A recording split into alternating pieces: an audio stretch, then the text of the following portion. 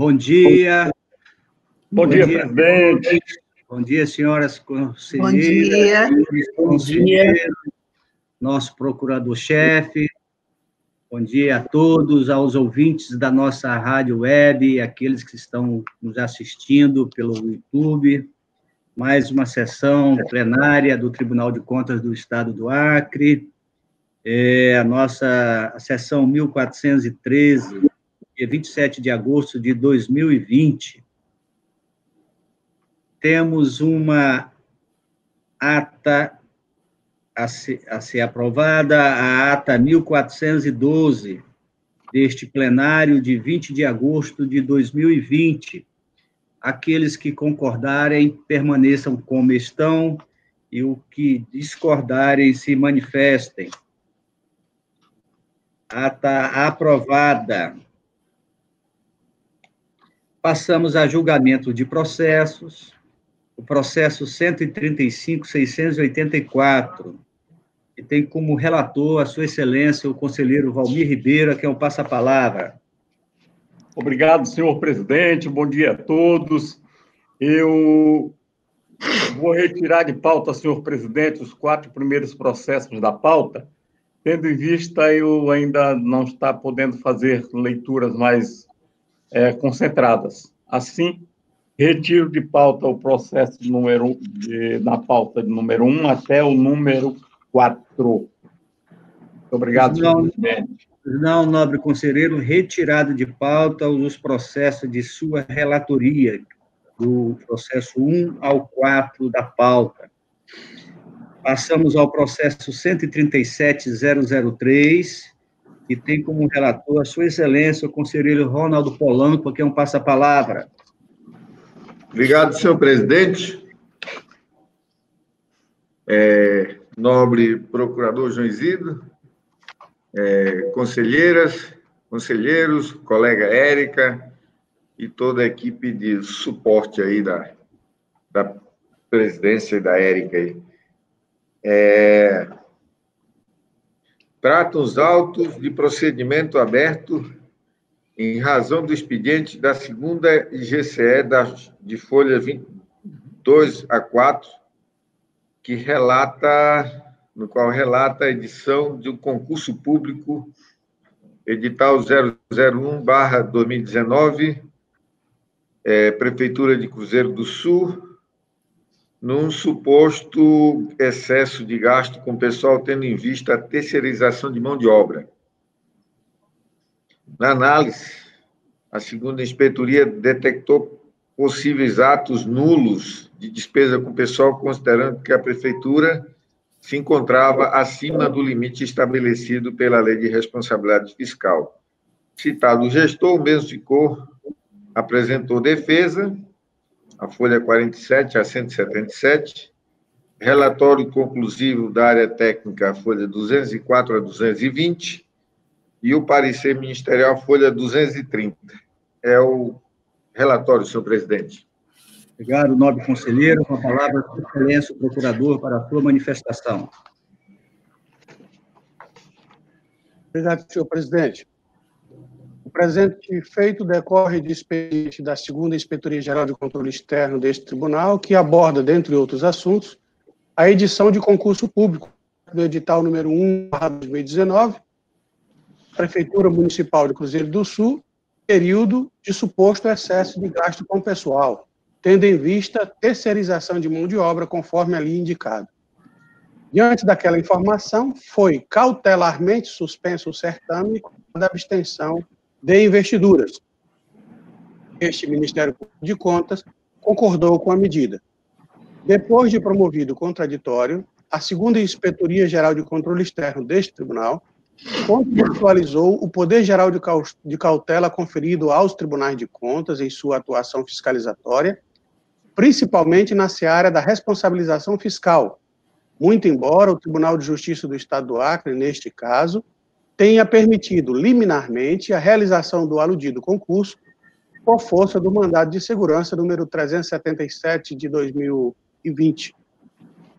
Aliás, a instrução atestou que o seletivo destinava-se não só às áreas de saúde e educação, conforme apontamento à folha 21.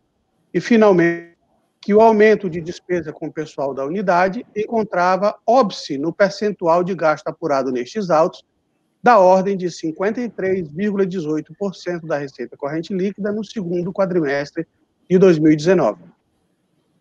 Isto posto, e considerando que o concurso em questão foi concluído por decisão da Justiça e que por si só não gerou impacto na despesa de pessoal da origem, não vislumbramos a hipótese de nulidade nem de sancionamento ao responsável, a não ser em caso de eventual admissão dele decorrente em tempo de gasto na área acima de 95% de seu limite máximo, conforme disciplina a Lei de Responsabilidade Fiscal, artigo 22, parágrafo 1.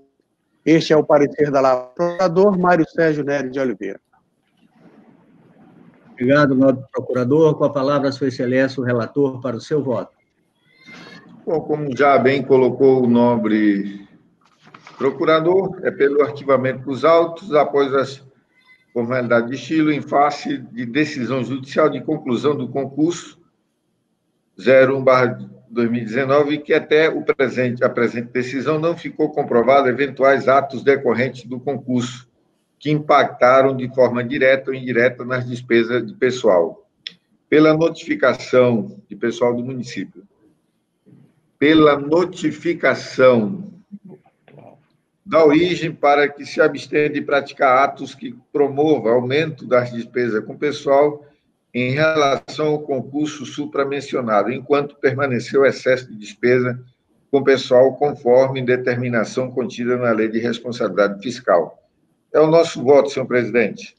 Obrigado, nobre relator. Com a palavra é, em votação, conselheiro Valmir Ribeiro. Acompanho o voto, senhor presidente.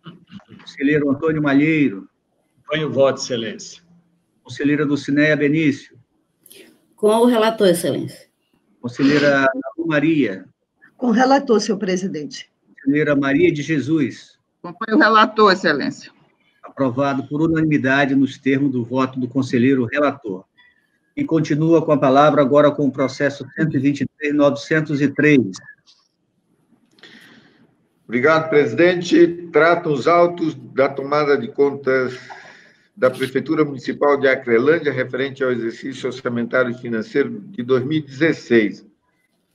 A responsabilidade é dos prefeitos Jonas Dali da Costa Silva, o período é de 01 de 0 2013 a 16 de a 16 de 8 de 2016 e do José Donizete de Melo, 2000, é, de 16 de 8 de 2016 a 31 de 12 de 2016. O relatório preliminar de análise técnica, as folhas 35 a 76. Citações pessoais, é, primeiro foi ao prefeito, Jonas Dales da Costa, depois, nas folhas 82, ao José Donizete Melo, também prefeito, e as folhas 93 ao contador José, José Ulineide Benigno. Os responsáveis citados, José Jonas Dales da Costa, prefeito do município, no período 01 de 2013 a 8 de 2016, e o José Donizete, o prefeito, no, depois, no período de 16 de 8 de 2016 a 31 de 12 de 2016, não, e o contador não apresentaram defesa conforme certidões, as folhas 86 e 96. O relatório conclusivo, as folhas 110 a 114, constatou as irregularidades. Eu não vou aqui listar, porque o nobre procurador vai fazer um relato dessas dessas infringências e é, descumprimento de, de, de, regramentos. Então, é, parecer ministerial, é, junto a esta Corte de Contas, das folhas 90 a 91 e depois 119 a 120. É o relatório, senhor presidente. Obrigado, obrigado, nobre relator. Com a palavra, Sua Excelência, o procurador, para a sua manifestação. Obrigado, senhor presidente. Trata-se de processo de tomada de contas da Prefeitura Municipal de Acrelândia, relativo ao exercício de 2016, de responsabilidade dos senhores Jonas Dales da Costa Silva, no período de janeiro até 16 de agosto de 2016, e José Donizete de Melo, no período restante até o final do exercício. A prestação de contas foi encaminhada a este tribunal em conformidade com o disposto no artigo 30, parágrafo 2 da Constituição Federal, combinado com o artigo 61, incisos 2 e 11 da Constituição Estadual, e artigo 71A da Lei Complementar Estadual número 38/93. Regularmente instruída, foram chamados ao contraditório os prefeitos ah, já mencionados e o contador da origem, senhor Ulineide Benigno Gomes. Contudo, nenhuma resposta foi acostada aos autos. Encaminhada à área técnica, em atenção ao disposto na resolução TCA número 58 de 2005, o relatório conclusivo ratificou as irregularidades a seguir elencadas. Quanto às contas anuais de governo, 1. Um, não constou da prestação de contas todos os documentos exigidos no anexo 4 do Manual de Referência Terceira Edição, a que se refere a Resolução TCACRE número 87, 2013. É, nesse sentido, não foram enviados os itens 16, 15, 18, 21, 22 e 24 do referido anexo. 2. Infringência ao contido no artigo 167, inciso 5 da Lei Federal número 4320/64, tendo em vista a abertura de créditos adicionais suplementares sem a existência de recursos financeiros disponíveis para ocorrer as despesas é, correspondentes. Três, o saldo do exercício anterior está divergente daquele que foi apurado no exercício anterior, que é o exercício 2015. Ou seja, o contador, ao transportar o saldo do exercício 2015 para o início do exercício 2016, o fez de forma equivocada. Quatro,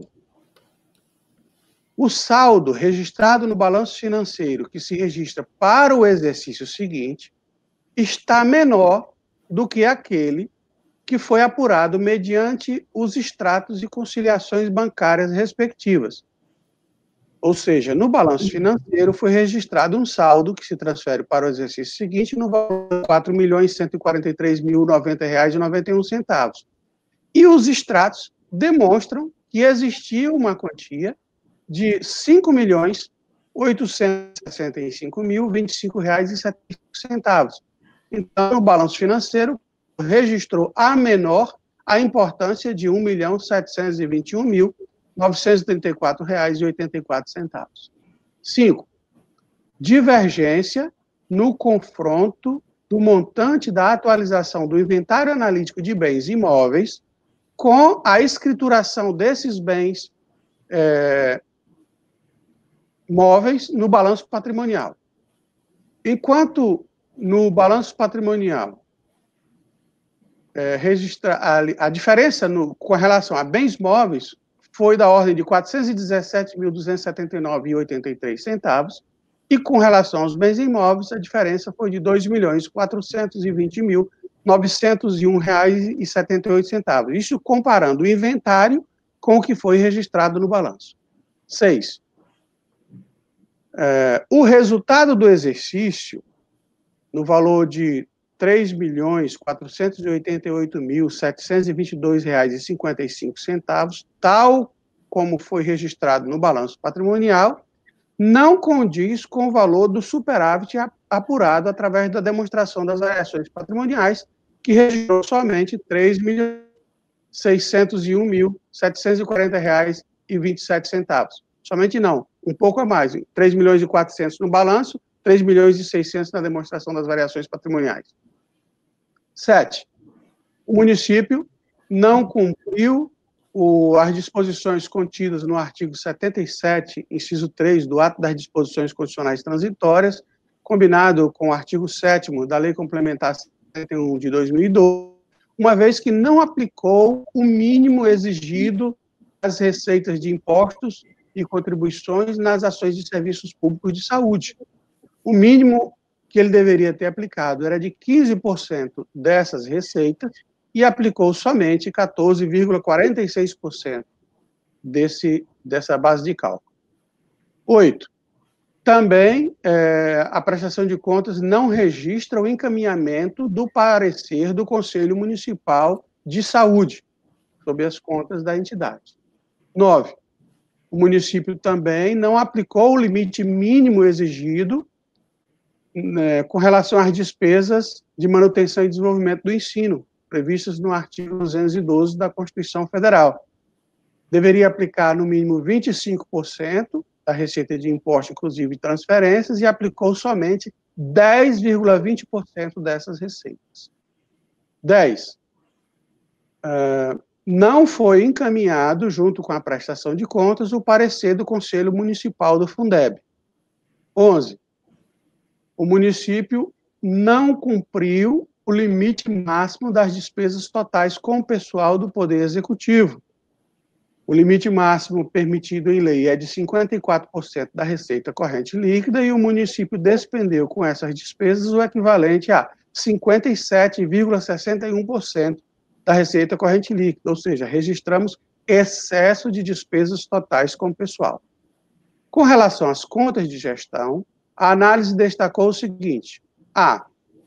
Não foi contabilizado o valor integral das obrigações patronais devidas no exercício. B.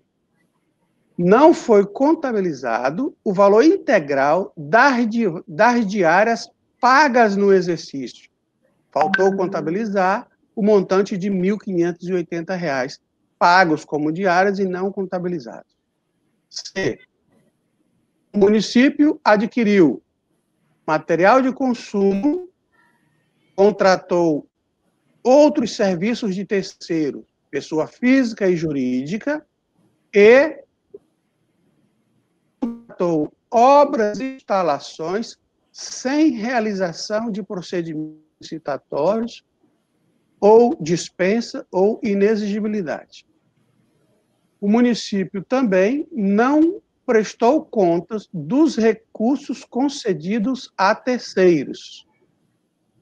Finalmente, a área técnica registra a ausência barra ineficiência do controle interno do município. Por fim, a instrução propõe a emissão de parecer prévio contrário à aprovação das contas anuais de governo e pela emissão de acordo considerando irregulares as contas de gestão de responsabilidades dos senhores Jonas Dales da Costa Silva e José Donizete de Mello, sem prejuízo da aplicação de multa aos gestores e também ao da origem, com fulcro nas disposições contidas no artigo 89, inciso 2, da Lei Complementar Estadual número 38, barra O processo foi recebido no Ministério Público de Contas em 14 de julho de 2020. Ante exposto, e considerando a ausência de manifestação dos responsáveis, que são revés neste processo, bem como o trânsito em julgado do recurso extraordinário número 848-826 do Distrito Federal, julgado em 8, ou, é, transitado em julgado em 8 de outubro do exercício de 2019, decidindo que é de competência exclusiva do Poder Legislativo Municipal o julgamento das contas de prefeito, sejam elas de governo ou de gestão, este Ministério Público de Contas opina: 1. Um, pela emissão de parecer prévio recomendando a reprovação das contas de governo e de gestão da Prefeitura Municipal de Acrelândia, referente ao exercício de 2016, com fulcro por analogia das alíneas A e B do inciso 3 do artigo 51 da Lei Orgânica deste Tribunal, especialmente considerando a abertura de créditos adicionais sem a existência de recursos disponíveis para ocorrer as despesas, bem como a não aplicação dos limites mínimos dos gastos com saúde e manutenção e desenvolvimento do ensino, e o excesso dos gastos com pessoal do Poder Executivo. Dois, pela abertura de tomada de contas especial, nos termos do parágrafo 1 do artigo 44 da Lei Complementar Estadual número 38/93, para apurar o saldo financeiro não comprovado além dos saldos patrimoniais dos bens móveis e imóveis, imputando as responsabilidades devidas quanto ao ressarcimento de eventual dano erário bem como as sanções pertinentes, inclusive quanto ao não recolhimento de encargos patronais devidos no período e a realização de despesas sem prévia licitação. 3. Pelo encaminhamento de cópia do apurado ao Ministério Público Estadual para as providências que entender adotar, em razão do que foi noticiado nos itens C, D deste parecer, e o que consta dos artigos 89 e 100, em número 866 de 93, ou seja, a realização de despesas sem prévia licitação. 4 pelo encaminhamento de cópia do apurado à sede da Receita Federal do Brasil, seção Acre, bem como ao Ministério Público Federal e ao Ministério Público do Trabalho, para as providências que entenderem adotar, em razão do que foi noticiado no item A deste parecer, ou seja, o não recolhimento integral dos encargos patronais. 5. Pela comunicação do apurado ao Conselho Regional de Contabilidade, seção Acre, para as providências que entender adotar quanto à conduta do profissional sujeito à sua jurisdição, ou seja, o contador, em razão dos graves erros cometidos nesta prestação de contas já relatados. Resumidamente, não encaminhamento de todos os documentos exigidos na prestação de contas, abertura de créditos adicionais sem a existência de recursos disponíveis para eh, lhe fazer face, Divergência no saldo do exercício, do exercício anterior, quando transportado para o exercício em questão. Divergência do saldo transferido para o exercício seguinte, quando comparado o balanço financeiro com os extratos de conciliações bancárias. Diferença no valor dos bens móveis e imóveis, quando comparado o inventário com o valor escriturado no balanço patrimonial.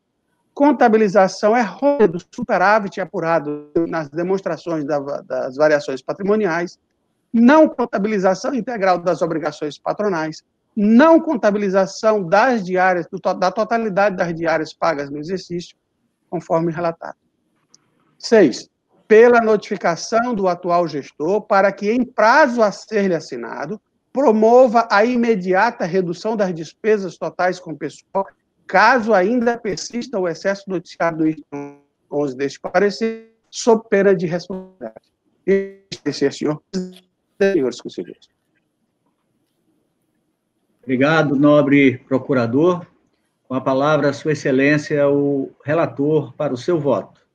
Senhor presidente, é, diante do que foi relatado com detalhe pelo nobre procurador é, e consubstanciado aqui nas observações dos é, contida no relatório do nosso corpo técnico, eu concordo, adoro, concordo parcialmente com o parecer ministerial.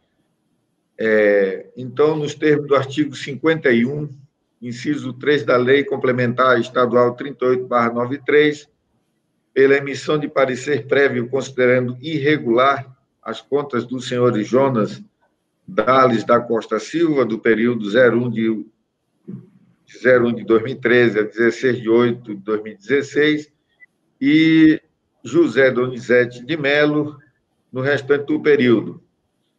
Prefeitos do município de Acrelândia, referente ao exercício orçamentário financeiro de 2016, em face, aí eu vou fazer aqui algumas, alguns destaques né, das irregularidades, é, não aplicação do mínimo de 15% das receitas com impostos em ações e serviços de saúde, descumprindo aqui o previsto no ato das disposições constitucionais transitórias, combinado com a Lei Complementar 141/2012, artigo 7 parágrafo 4 Não cumprimento do parecer do Conselho Municipal de Saúde descumprindo aqui o previsto na Lei Complementar 141 de 2012, no seu artigo 36, parágrafo 1. Não aplicação de, do mínimo de 25% das receitas de imposto em gastos com a manutenção e desenvolvimento de ensino. Aqui, descumprindo o previsto no artigo 212 da Constituição Federal não encaminhou o parecer do Conselho Municipal do Fundeb, descumprindo aqui o artigo 27 da Lei número 11.494/2007, não cumprimento do limite máximo de 54% da despesa total de pessoal no município, aqui infringindo o contido no artigo 20, inciso 3, letra B da Lei Complementar 101/2000.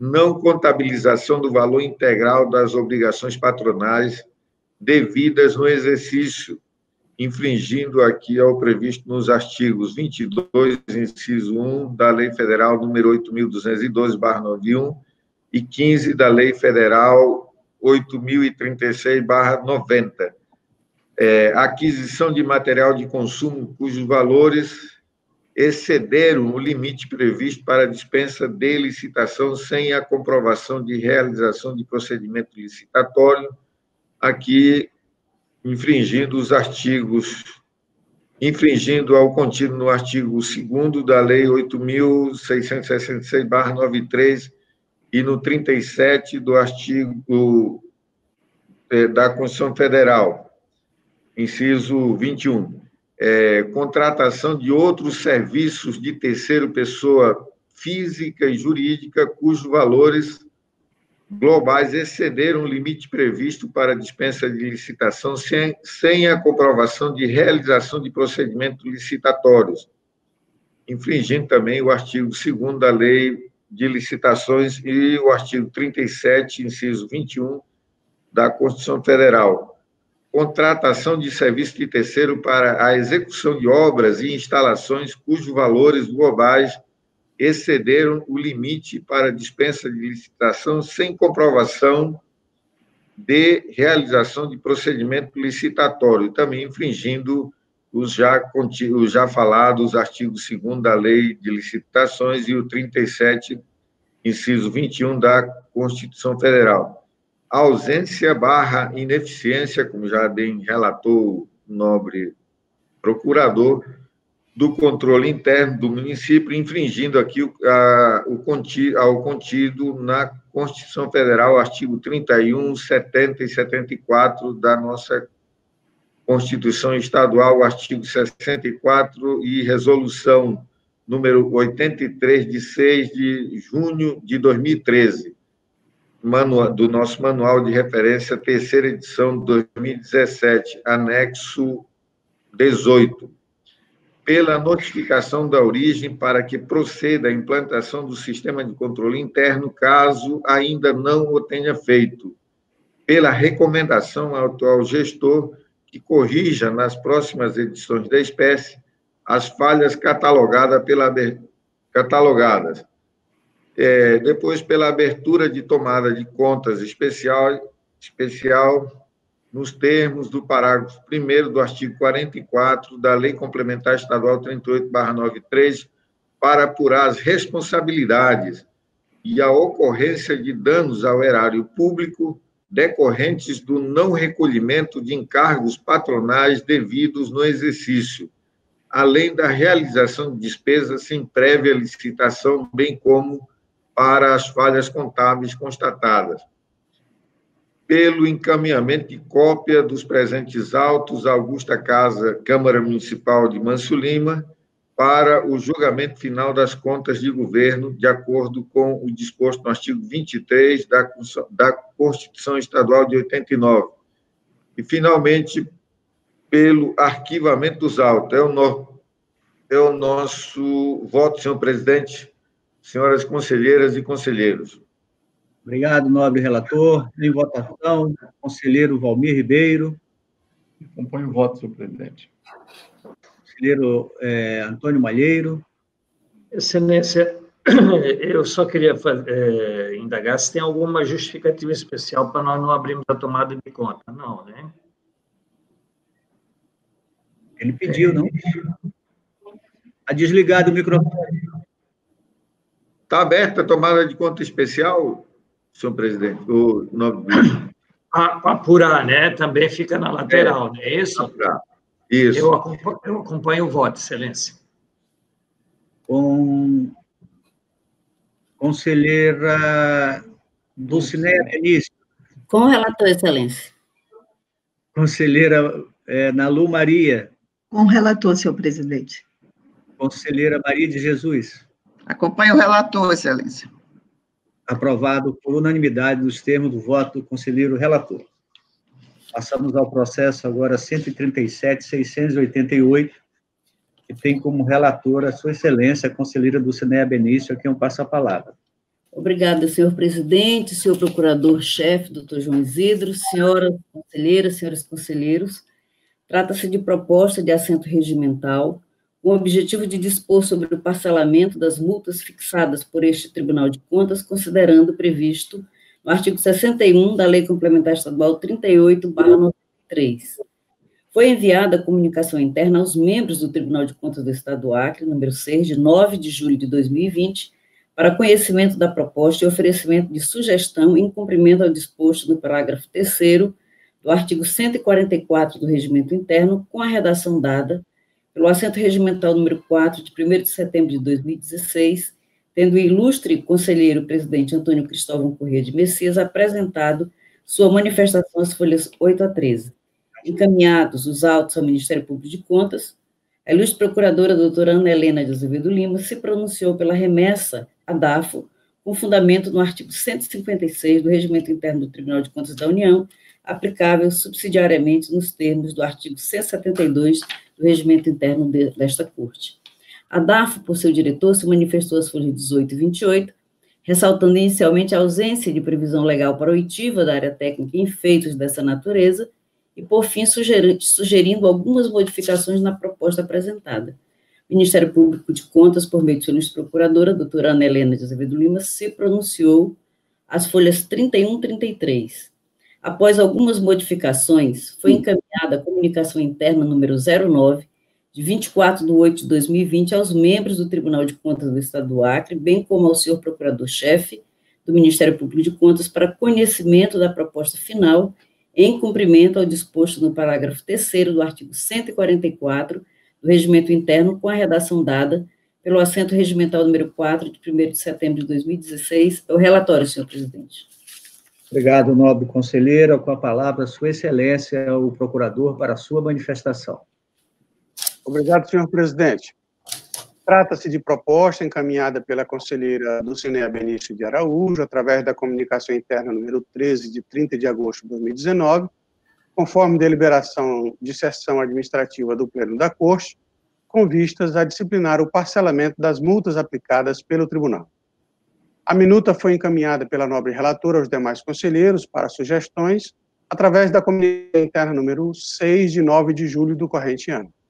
Em resposta, em resposta, o nobre presidente da Corte carreou aos autos as tratativas entre o Centro de Processamento de Dados do Tribunal e a Secretaria de Estado da Fazenda no tocante à operacionalização do referido parcelamento, bem como sugeriu o valor mínimo de cada, é, de cada parte. O processo foi inicialmente encaminhado ao Ministério Público de Contas em 22 de julho de 2020, quando se constatou que o mesmo não contava com a etapa de instrução, em desacordo com o processo que se desenvolve neste âmbito, pelo que, pelo que sugerimos o encaminhamento do feito à Diretoria de Auditoria Financeira e Orçamental deste tribunal para a referida análise, o que foi acatado pela nobre relatora. O relatório técnico de folhas 18 a 28 se debruçou exaustivamente sobre a lei orgânica do Tribunal de Contas e o regimento interno local para sustentar o processo administrativo de sua alteração não inclui instrução técnica por parte da Diretoria de Auditoria Financeira e Orçamentária deste tribunal. Ao final, a título de sugestão, propôs pequenas alterações no texto que nada acrescentaram ao seu conteúdo. O processo foi reenviado ao Ministério Público de Contas em 10 de outubro de 2020. Inicialmente, cumpre ressaltar que não concordamos com a afirmação de que, por se tratar de processo administrativo de alteração do regimento interno, o feito não necessita da etapa de instrução, posto que se trata de processo de competência do plenário da Corte, que deve conter as etapas de instrução, parecer e julgamento nos termos das disposições gerais sobre os processos que se, que se desenvolvem no âmbito do Tribunal de Contas da União, aplicável subsidiariamente ao processo que se, que se desenvolve neste ano. Apesar de conter um trâmite diferenciado naquela esfera, contém esse núcleo mínimo com as devidas adaptações. Projeto com as devidas justificativas, manifestação das comissões, que é a instrução, oitiva do Ministério Público junto ao Tribunal de Contas, que é o parecer, e o julgamento, conforme disciplina do regimento interno do Tribunal de Contas da União, dos artigos 72 a 84. O nosso tribunal não conta, a exemplo do TCU, com estruturas como as comissões de regimento e jurisprudência, tampouco com um específico junto à presidência que se ocupe da execução das decisões, devendo-se utilizar das existentes, dentre elas a área FIM, que compreende a Diretoria de Auditoria Financeira e Orçamentária, quando se tratar de assuntos a ela correlatos. Ademais, neste caso específico, a matéria afeta os processos de controle externo e envolve conteúdos, como a atualização dos débitos e o próprio processamento do parcelamento, que apesar de, na maioria das vezes, conforme proposição, ser etapa posterior ao julgamento do feito, poderá contar, como outrora já visto, com a correção de valores a serem ressarcidos, com a inspetoria que procedeu à instrução. Além do mais, este órgão ministerial sempre defendeu o trâmite processual, especialmente de propostas de assento regimental, resoluções e instruções normativas, com a participação de todos os atores envolvidos, com vistas ao conhecimento e amadurecimento dos assuntos. A minuta apresentada encontra fundamento no inciso 1 do artigo 144 do Regimento Interno Local e foi cumprida a formalidade prevista na primeira parte do parágrafo terceiro do mesmo dispositivo, com envio de cópia a todos os procedidos. Quanto ao mérito, verifica-se que o parcelamento de débitos e multas aplicadas tem previsão no caput do artigo 61 da Lei Orgânica deste Tribunal, e o texto apresentado visa disciplinar o procedimento a ser observado para parcelamento das multas, que poderia incluir também o débito com pequenas alterações no texto.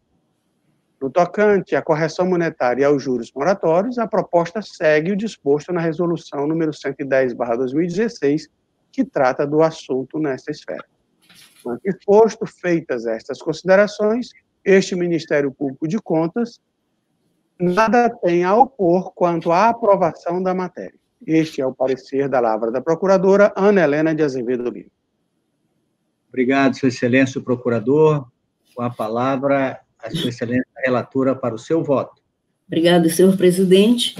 Preliminarmente, como bem salientado pelo Ministério Público de Contas, não há neste tribunal comissão de regimento, conforme se vê no Tribunal de Contas da União, sendo costume nos feitos que digam respeito a propostas de atos desta Corte, a depender da matéria, a oitiva de todos que possam contribuir para a melhor edição do respectivo ato, permitindo que a norma proposta possa, de fato, contemplar o caso concreto em toda a sua amplitude, aperfeiçoando o exercício do controle externo. Como exemplo, se vê nos autos número 21.149-2015 e 21.151-2015, que trataram da análise das, então, propostas da resolução número 103 e da instrução normativa número 09, ambas de 14 de setembro de 2016, nos quais a quarta Inspetoria Geral de Controle Externo se manifestou, inclusive sugerindo modificações que foram relevantes na edição das referidas normas. No presente caso, se busca, com a modificação do regimento interno, o melhor acompanhamento do cumprimento das decisões desta Corte, especificamente o pagamento das multas impostas, pelo que se faz necessário disciplinar melhor as regras sobre o seu parcelamento, e considerando a relevância da matéria, afigurou-se necessária a manifestação da DACO, até porque o exercício do controle externo também se dá na verificação da observância ou não às deliberações do tribunal.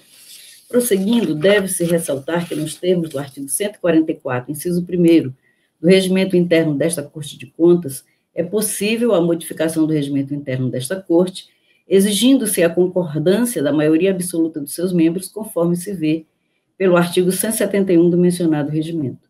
Desse modo, analisando os dispositivos em discussão, bem como a manifestação técnica e o parecer ministerial, verifico que seu objeto é, objeto é pertinente possibilitará a realização de parcelamento de dívidas relativas às multas fixadas de maneira mais acessível aos jurisdicionados, com regras de fácil aplicação, que acarretará, consequentemente, o cumprimento dos acórdãos prolatados por esta Corte de Contas. E nesses termos, posto isso, considerando que a implementação da norma em exame vem atender às necessidades deste Tribunal de Contas, voto pela aprovação do assento regimental e, após as formalidades de estilo, pelo arquivamento dos autos. É como voto, senhor presidente, senhoras e senhores conselheiros. Obrigado, nobre relatora. É, em votação, conselheiro Valmir Ribeiro. Acompanha a nobre conselheira relatora, senhor presidente. Conselheiro Antônio Malheiro. Excelência, acompanha o voto, excelência. Conselheiro Ronald Polanco.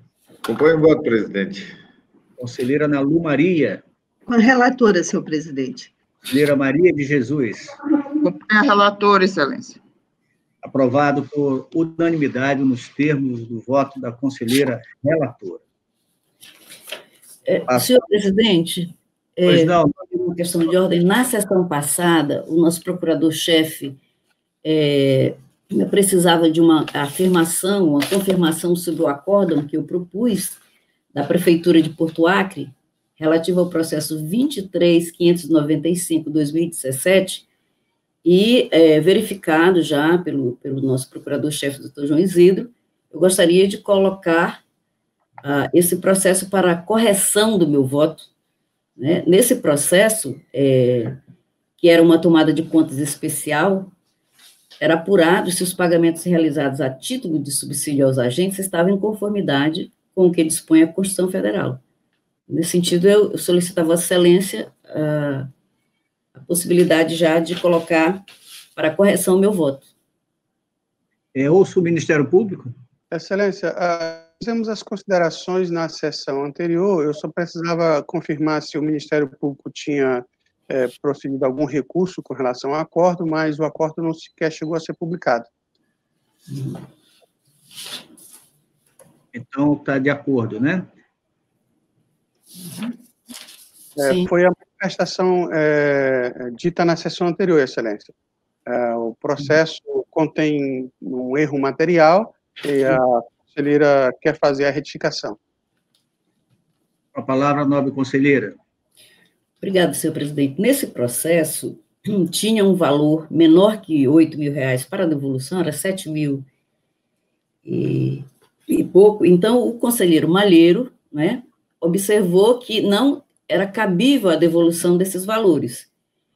Eu aderi à proposta do conselheiro Malheiro, mas mantive a, a multa, que na verdade já estava prescrita. Então, é, quando o acórdão foi elaborado, ficou com essa falha. Nessa sessão, o conselheiro Valmir não estava, né? E aqui, quem estava era o conselheiro José Augusto, que agora não vai poder mais assinar o acórdão, mas então eu queria adequar, fazer a correção nesse voto, e o texto proposto a ele fica, ante o exposto, o voto pela recomendação ao atual gestor do município de Porto Acre, a verificação da legislação municipal acerca das vantagens discutidas, terço constitucional de férias e décimo terceiro salário, considerando a manifestação do Supremo Tribunal Federal nos autos do recurso extraordinário número 650-898 e remessa dos autos ao arquivo após as formalidades obrigatórias. É o meu voto, senhor presidente. Retirando a multa. Obrigado, nobre conselheira. Conselheiro. O conselheiro Valmir não estava na, na sessão do dia 13 de fevereiro, na primeira votação. É, não, é, não sei se ele está apto à votação hoje, então vamos passar a votação ao conselheiro Antônio Malheiro. Uh, excelência e meus nobres pares, eu queria dizer que eu estou 100% de acordo com a correção do acordo mas eu tenho dúvidas com relação ao procedimento. É, então, assim, a, a minha, qual, é, qual é a minha dúvida? Após uma decisão prolatada, uhum. onde a única falta é, é formal é a publicação, Eu entendo, assim, aqui é a minha dúvida, aqui eu gostaria até de compartilhar com vocês minha dúvida. Eu entendo que o princípio da autotutela que está sendo usado está perfeito, nós podemos usar o princípio da autotutela para corrigir, mas entendo que a formalidade para corrigir um acórdão é um recurso que pode ser feito por nós.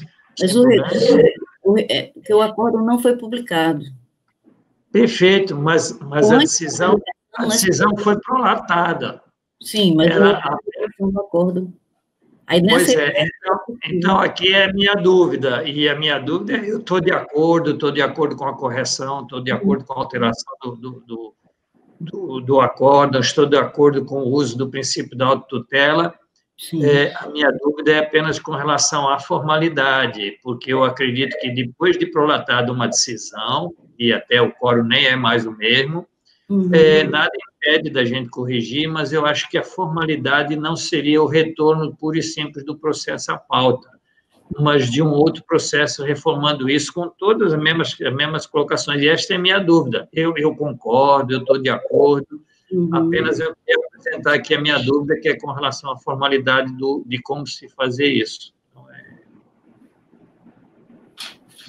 Eu estou é, aqui colocando né, que antes da publicação é possível a gente fazer a correção, porque o acordo que ele foi publicado, é, quando Vossa Excelência é, ponderou que não era cabível a devolução, eu aderi, então, à sua manifestação, mas por um equívoco retirado o valor, a multa, é, que já estava prescrita e que no seu voto não foi colocada, né? Era só mesmo, conforme eu estou adequando aqui o meu voto, o seu voto também não tinha multa. Mas os demais conselheiros, por maioria, aderiram ao meu voto, que estava com esse erro material, da aplicação da multa. Então, eu entendo perfeitamente cabível a correção no pleno, né, a, a colheita é, dos votos novamente, porque não houve ainda a publicação do acordo. Então, é perfeitamente possível essa correção.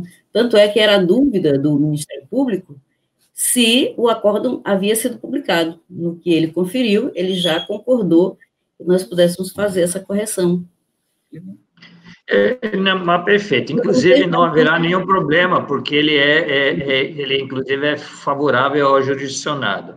Sim. Eu imagino isso no sentido inverso, talvez nós tivéssemos problemas, mas nesse sentido, uma vez que é o plenário que está aqui, eu estou de acordo com Vossa Excelência e eu concordo. Mas com essa, essa colocação da gente sempre ter um pouco desta cautela, eu concordo. Tô, acompanho Vossa Excelência, o plenário está feito, está aqui, aqui vai ter duas, duas decisões a outra vai contar uma papeleta e esta alterando a outra.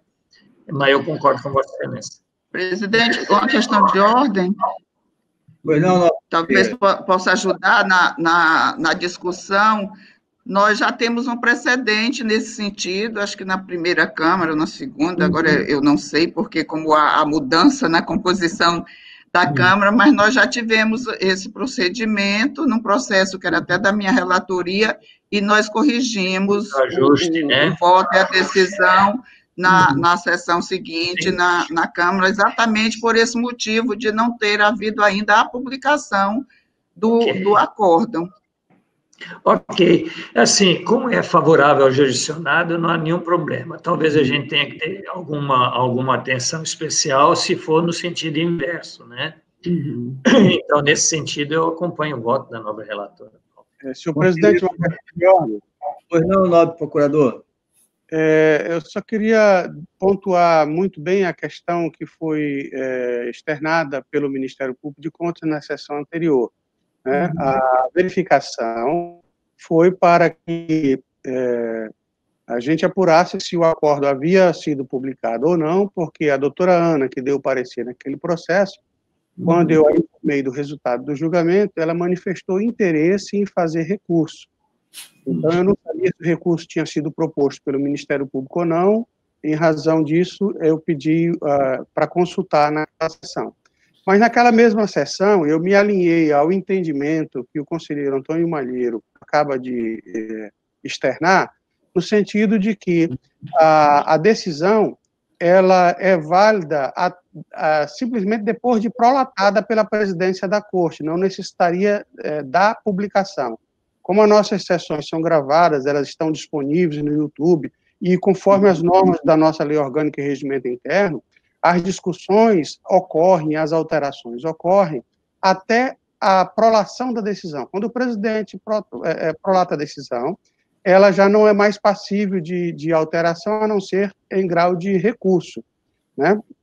Eu, inclusive, naquela ocasião, disse que, se realmente isso configurado, o próprio Ministério Público, que é um dos legitimados a fazer esse recurso, é, poderia fazer o recurso alegando essa é, que a multa foi existe uma multa quando já transcorridos cinco anos prescricionais para sua do fato para sua aplicação. É, isso levando-se em conta que, apesar de a lei dizer que o acordo do Tribunal de Contas é um título executivo extrajudicial, neste caso, esse título não se, rever, não se revestiria é, dos requisitos de execuibilidade, quais sejam certeza, liquidez e exigibilidade. Né? Então, a certeza, a liquidez e a exigibilidade estariam comprometidos, uma vez que havia uma determinação para pagamento de multa quando essa estava prescrita. Né? Então, não haveria condições de execuibilidade desse acordo. Né? E é, a medida hora adotada, apesar de é, é, tecnicamente ela estar equivocada, ela não traz prejuízo para a parte. Aí incide o princípio paz de nullité sans grief, ou seja, não havendo nulidade, não havia legitimidade de quem quer que seja para alegar futuramente que essa decisão que está sendo tomada agora, é, ela, ela, ela, ela causou algum prejuízo a alguém, porque ela beneficia o gestor. Né? Mas, é, como bem, muito bem pontuado pelo conselheiro Antônio Malheiro, a gente tem que ter cautela com relação a, a, a esse tipo de procedimento, considerando uma decisão que venha agravar a posição do gestor e não a beneficiar a posição do gestor. É, com esses esclarecimentos, Excelência, coloco novamente o Ministério Público à disposição, se houver interesse da relatoria e desse tribunal, para apresentar o recurso com os mesmos considerandos que a conselheira propôs, entendendo também que, pelo princípio da tutela, o tribunal, a relatora, também pode propor a medida. Obrigado, Excelência. Obrigado, nobre procurador. Como a conselheira já trouxe, já pediu votação, vamos continuar a votação. Conselheiro Ronaldo Polanco. Acompanha a relatora, presidente. Conselheira Nalu Maria. É, é, eu só queria é, saber como é que ficou. É, não aceitar as ponderações? Não, não, nós vamos fazer a não, votação. Ficou ok. Ficou de como ela beneficia o, o jurisdicionário. Recording has stopped nós, nós, nós votamos com a relatora, o plenário está perfeito, está completo. Ah, então está ótimo. Eu também voto com a relatora. Conselheira Maria de Jesus. Também acompanha a relatora, excelência. É aprovado por unanimidade no voto, dos termos do voto conselheira relatora, é ausente a sessão anterior. Recording is on. Conselheiro Valmir Ribeiro. É, senhor presidente, eu também solicito o registro né, da impossibilidade de, no novo acórdão, constar a assinatura do conselheiro José Augusto Araújo de Faria em decorrência de seu falecimento. Ah, é, passamos... Pois não, é, apenas para eu complementar minhas anotações, eu pediria que a nobre conselheira relatora é, declinasse o número do acórdão e do processo, por gentileza. Pois não. Agora, é, senhor procurador, processo TCE número 23, 595 de 2017, barra 40. E o acórdão? Acórdão número 11.731 de 2020, plenário. Perfeito. Vossa Excelência tem a data da sessão ou o número da sessão que foi julgado? Sim, 13 do 2 de 2020. Obrigado, Excelência. Obrigado. Passamos a pauta com o processo agora 123.908, e tem como relatora a Sua Excelência, a conselheira Nalu Maria, que é um passa-palavra. É, bom dia, senhor presidente. É um prazer estar em mais uma sessão. Queria cumprimentar o doutor João, nosso procurador-chefe, como também as conselheiras os conselheiros, a Érica, todos que nos ajudam nessa sessão. É o, o processo 123 7, é, 758, né?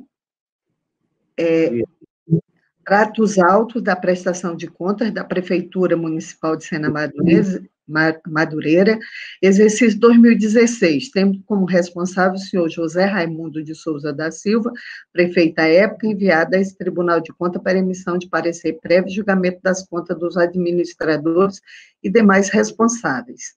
O processo foi distribuído, os relatórios de análise técnica se deu em várias oportunidades e apurou falhas e, e várias irregularidades e o Ministério Público, por meio de seu ilustre procurador-chefe, doutor João Isidro de Melo Neto, pronuncia-se as folhas é, 1140 a 1144. É o relatório, senhor presidente. Obrigado, conselheiro. A sua excelência, o procurador, para a sua manifestação. Obrigado, senhor presidente. É, eu queria consultar inicialmente a nobre conselheira relatora sobre o número do processo é, parece que eu ouvi 123,758.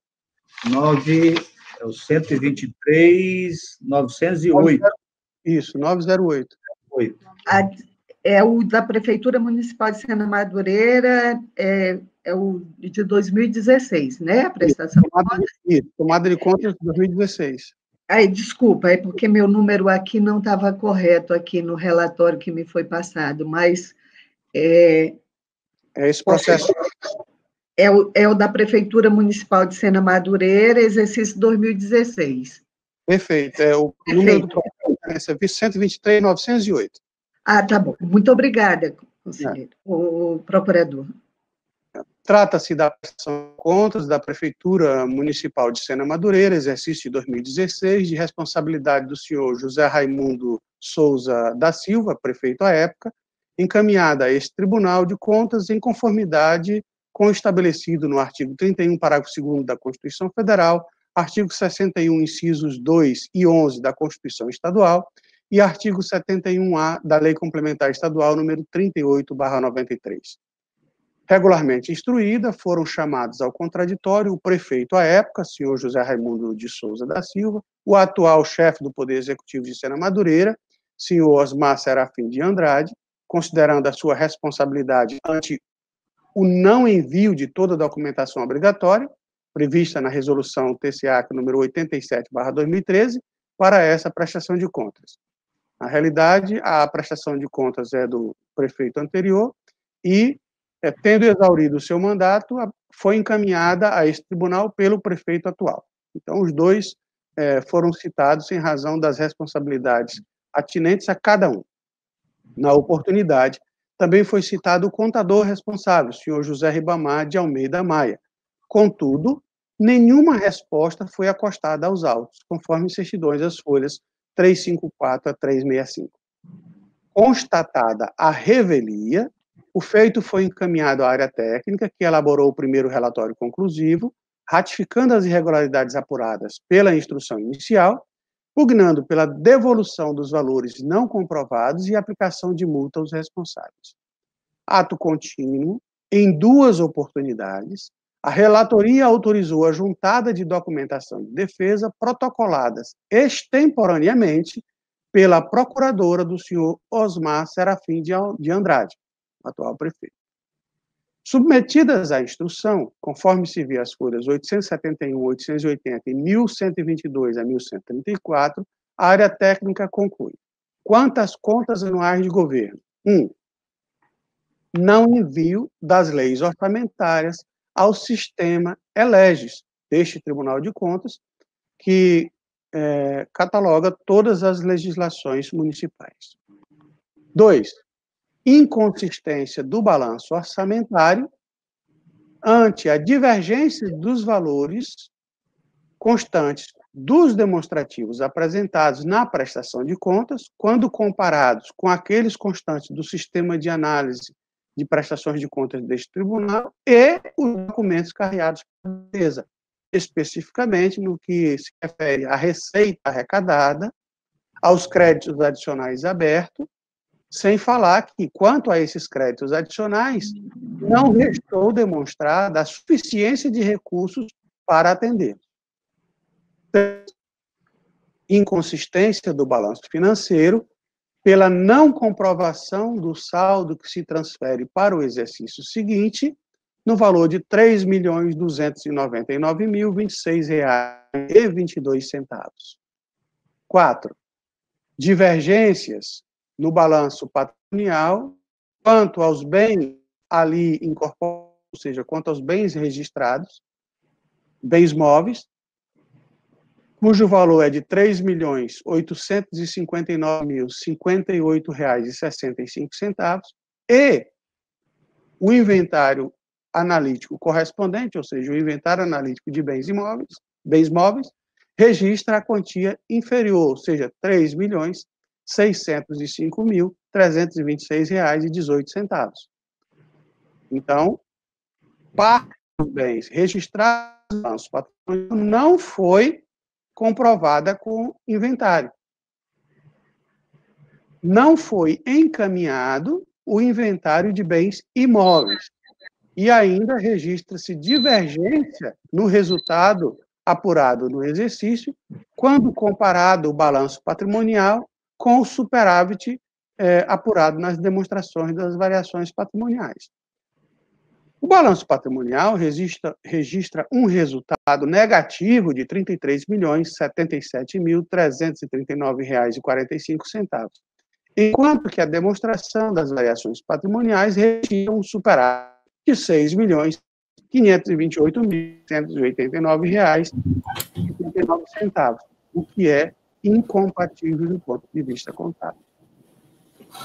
Não encaminhamento do parecer do Conselho Municipal de Saúde, descumprindo o mandamento contido no artigo 36, parágrafo 1 da Lei Federal número 141 de 2012. O município não cumpriu ah, as despesas mínimas exigidas com os recursos oriundos do Fundeb para a remuneração dos profissionais do magistério em efetivo exercício na educação básica.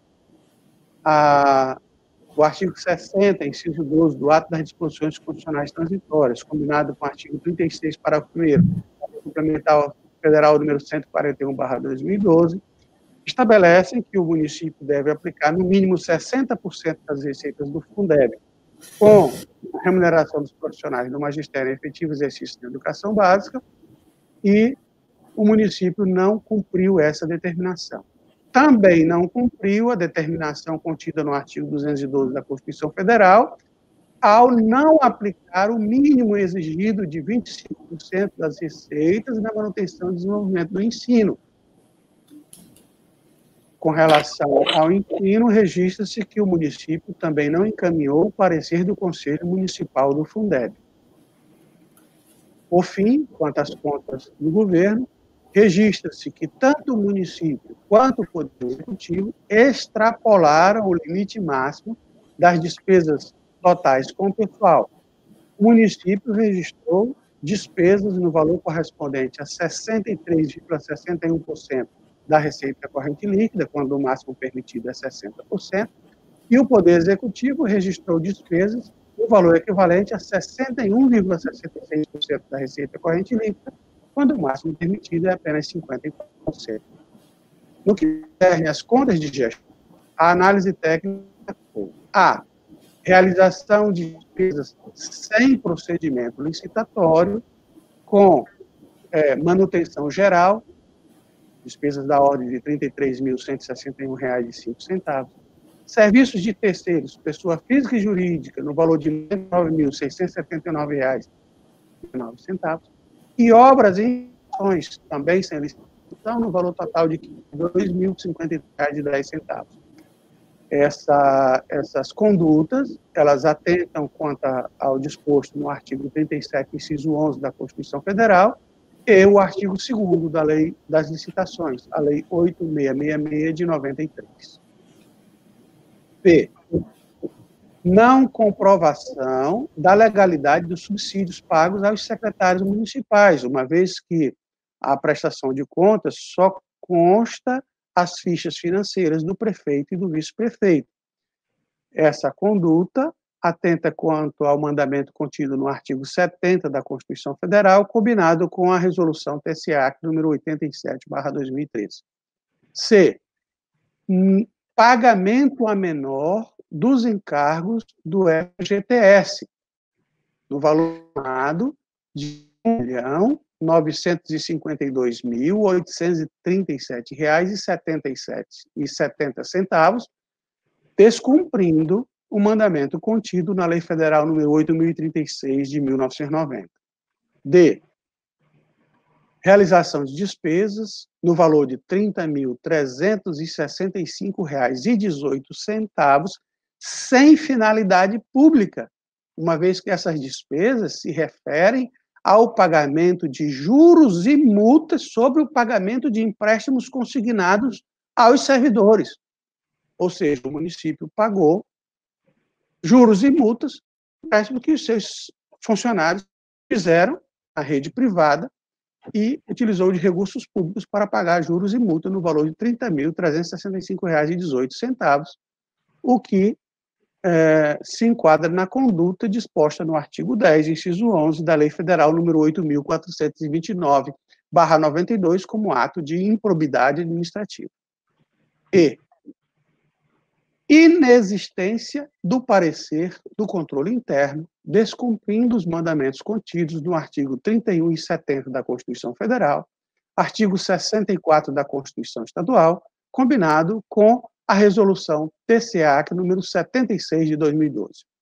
Ante todo apurado, a instrução propôs a emissão de parecer prévio contrário à aprovação das contas anuais de governo pela, e pela emissão de acordo considerando irregulares as contas de gestão de responsabilidade do senhor José Raimundo de Souza da Silva, demandando o ressarcimento dos valores impugnados, do saldo financeiro não comprovado e das despesas cuja finalidade pública não foi demonstrada, sem prejuízo das multas acessória e sanção, estendendo esta, esta última ao atual prefeito, senhor Osmar Serafim de Andrade, pela omissão no envio de documentação obrigatória para esta prestação de contas e também ao contador da origem, senhor José Ribamar de Almeida Maia, concernente às ocorrências relacionadas ao exercício de seu cargo.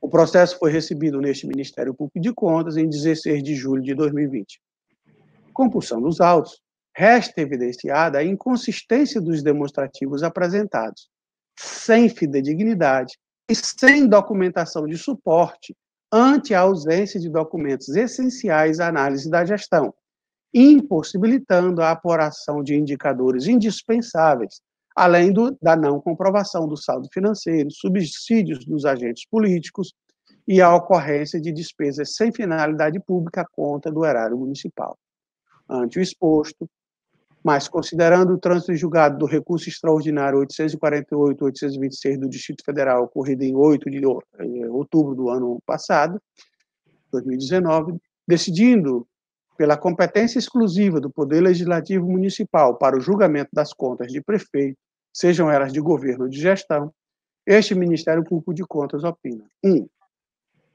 pela emissão de parecer prévio, recomendando a reprovação das contas de governo e de gestão da Prefeitura Municipal de Sena Madureira, referente ao exercício de 2016, com fulcro, por analogia, nas alíneas A, B e C do inciso 3 do artigo 51 da Lei Orgânica deste Tribunal, especialmente considerando a ausência de comprovação e fidedignidade dos saldos e resultados apresentados nos demonstrativos contábeis, bem como a não aplicação dos limites mínimos de gasto na manutenção e desenvolvimento do ensino e Fundeb e os excessos de gastos com o pessoal tanto do município quanto do Poder Executivo.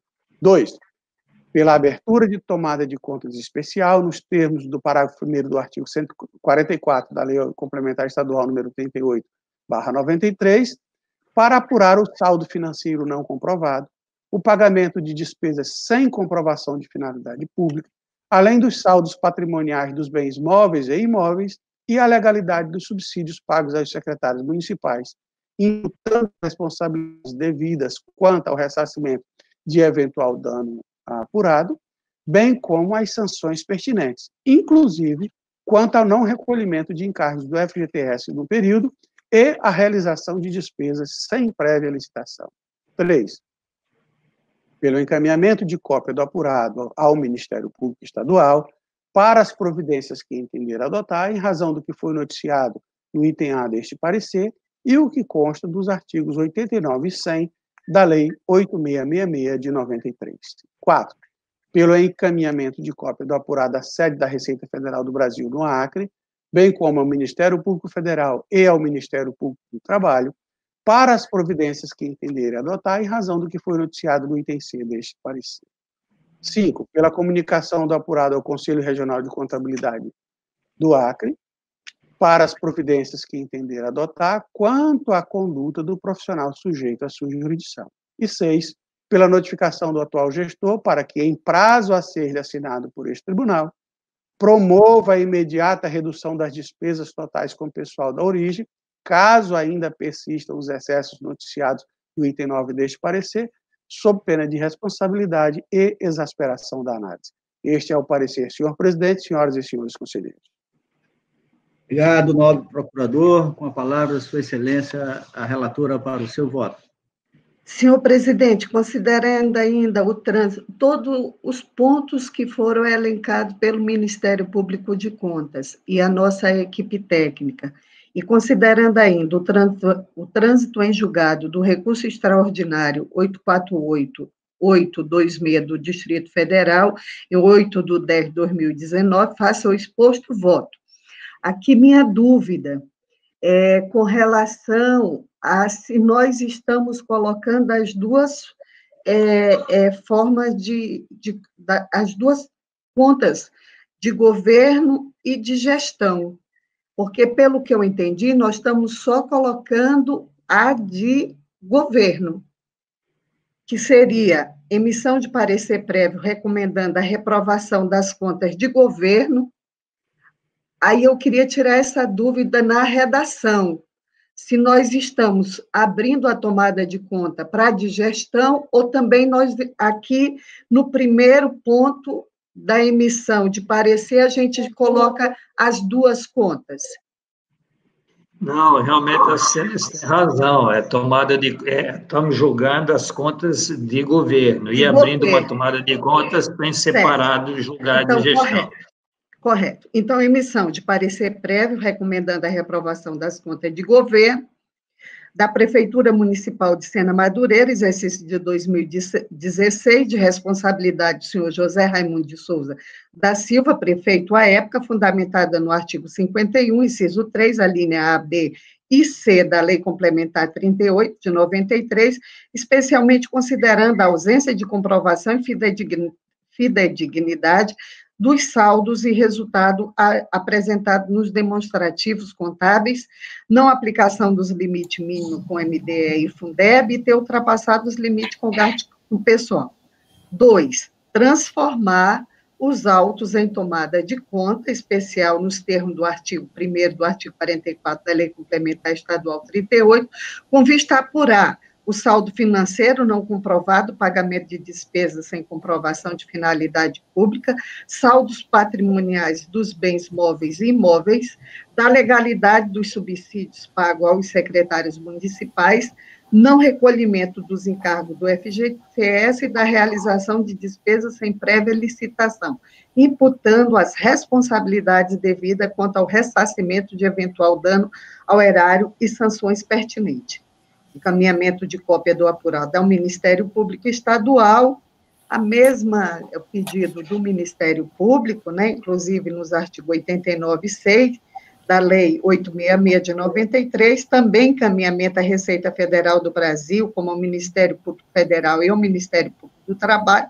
para as providências que entenderem adotar em razão do não pagamento total das obrigações patrimoniais devidas no exercício encaminhamento do parecer prévio acompanhado dos autos Câmara Municipal de Sena Madureira para seu julgamento em cumprimento ao disposto ao artigo 23 da Constituição Estadual, encaminhamento ao Conselho é, de, de Educação do município de Sena Madureira para dar conhecimento da não comprovação do atingimento do mínimo anual exigido com o MDE e Fundeb, somado a isto, o não encaminhamento a esse Tribunal de Contas do parecer do Conselho Municipal do Fundeb relativo ao exercício de 2016, encaminhamento ao Conselho de Saúde do município de Sena Madureira para dar conhecimento que seu parecer relativo ao exercício de 2016 não foi encaminhado a este Tribunal de Contas pela comunicação do apurado ao Conselho Regional de Contabilidade para as providências que entender adotar conta a conduta do profissional sujeito à sua jurisdição e após as formalidades formalidade de estilo pelo arquivamento dos autos. É o voto, senhor presidente. Em votação, conselheiro Valmir Ribeiro. Acompanho o voto da nova conselheira relatora, senhor presidente. Conselheiro Antônio Malheiro. Na mesma linha, excelência. E assim também a tomada de contas vem separado, não é isso, eh, nobre conselheiro? Isso. Acompanhe na íntegra, excelência. Conselheiro Ronald Polanco. Acompanho o voto, presidente. Conselheira do Cineia Benício. Com relator, excelência. Conselheira Maria de Jesus. Com relator, excelência. Aprovado por unanimidade nos termos do voto da conselheira relatora. É, passamos ao processo agora 123.708, que tem como relatora a sua excelência, a conselheira Maria de Jesus.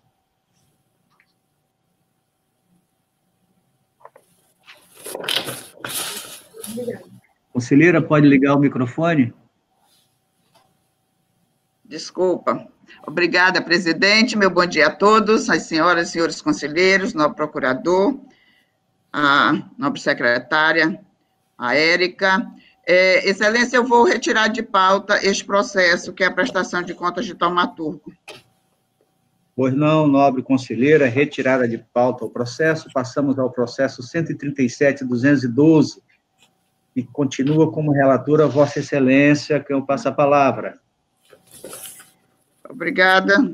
Excelência, trata os autos de processo de inspeção instaurado a partir da comunicação interna número 125/2020 da Diretoria de Auditoria Financeira e Orçamentária DAFO, comunicando que a Prefeitura Municipal de Tarauacá publicou o edital número 2 2020, processo seletivo simplificado para a formação de cadastro de reserva de professor do primeiro segmento do ensino fundamental na modalidade da educação de jovens e adultos, zona urbana e zona rural, nível médio, e demonstrando a convocação de aprovados no certame para contratação, estando órgão os gastos totais de pessoal acima do limite permitido pela Lei de Responsabilidade Fiscal. A segunda Inspetoria Geral de Controle Externo emitiu relatório técnico de folhas 25 a 31, onde foi demonstrado que tanto da publicação do edital e da convocação dos aprovados, ocorridas em fevereiro e março de 2020, respectivamente, a Prefeitura de Tarauacá registrava gastos total com pessoal no patamar de 55,01% da receita corrente líquida, dados do terceiro quadrimestre de 2019 portanto, computando um percentual superior ao limite estabelecido pela Lei de Responsabilidade Fiscal. A senhora Marilete Vitorino de Siqueira, prefeita municipal de Tarauacá, foi devidamente citada por meio do Diário Eletrônico de Contas, número 1355, de 9 de junho de 2020, conforme certidão de publicação emitida pela Secretaria das Sessões, a folha 37, não tinha apresentado defesa. Porém, Agora, no dia 25 de agosto, com o processo já em pauta, foi protocolado defesa neste tribunal, que não pôde ser juntado aos autos em face do bloqueio realizado pelo sistema. O Ministério Público de Contas manifestou-se por meio do procurador João Isidro de Melo Neto, as folhas 43 a 45. É o relatório, excelência. Obrigado, nobre conselheira. Excelência, o para a sua manifestação. Obrigado, senhor presidente.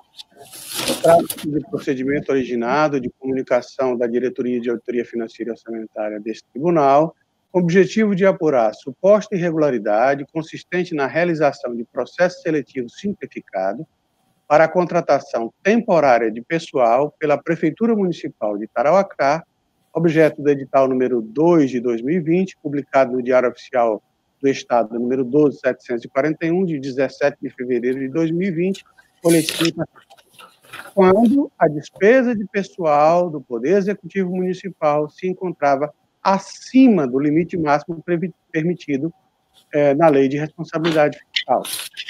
É, no terceiro quadrimestre de 2019, que foi a referência adotada, a instrução noticia que os gastos totais com o pessoal da origem representavam 55,01% da receita corrente líquida, quando o máximo permitido é de apenas 54% dessa base de cálculo. Conforme a análise técnica realizada pela segunda Inspetoria Geral de Controle Externo, a Prefeitura Municipal de Tarauacá efetivamente publicou em fevereiro de 2020 o edital acima referido, cujo objeto é a realização de processo seletivo simplificado para a formação de cadastro de reserva para o cargo de professor dos anos iniciais do ensino fundamental, na modalidade Educação de Jovens e Adultos, zonas rural e urbana, tendo, posteriormente, convocado candidatos aprovados para a respectiva contratação, o que ocorreu no dia 16 de março de 2020, consoante publicação no Diário Oficial do Estado, número 12.759, folhas 8 a 10.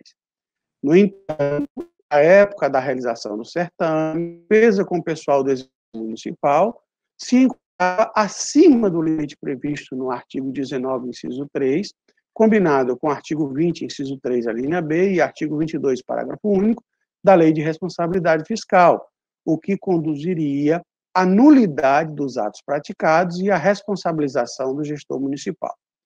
Neste sentido, apurou-se, a partir dos dados disponíveis no sistema de análise e prestação de contas deste tribunal, que a despesa com pessoal do Poder Executivo Municipal já se afigurava acima dos, dos limites legais, ao menos do limite prudencial, desde o terceiro quadrimestre de 2018, representando no primeiro trimestre de 2020, época da publicação do edital Hora sob Análise, o comprometimento de 54,66% da receita corrente líquida.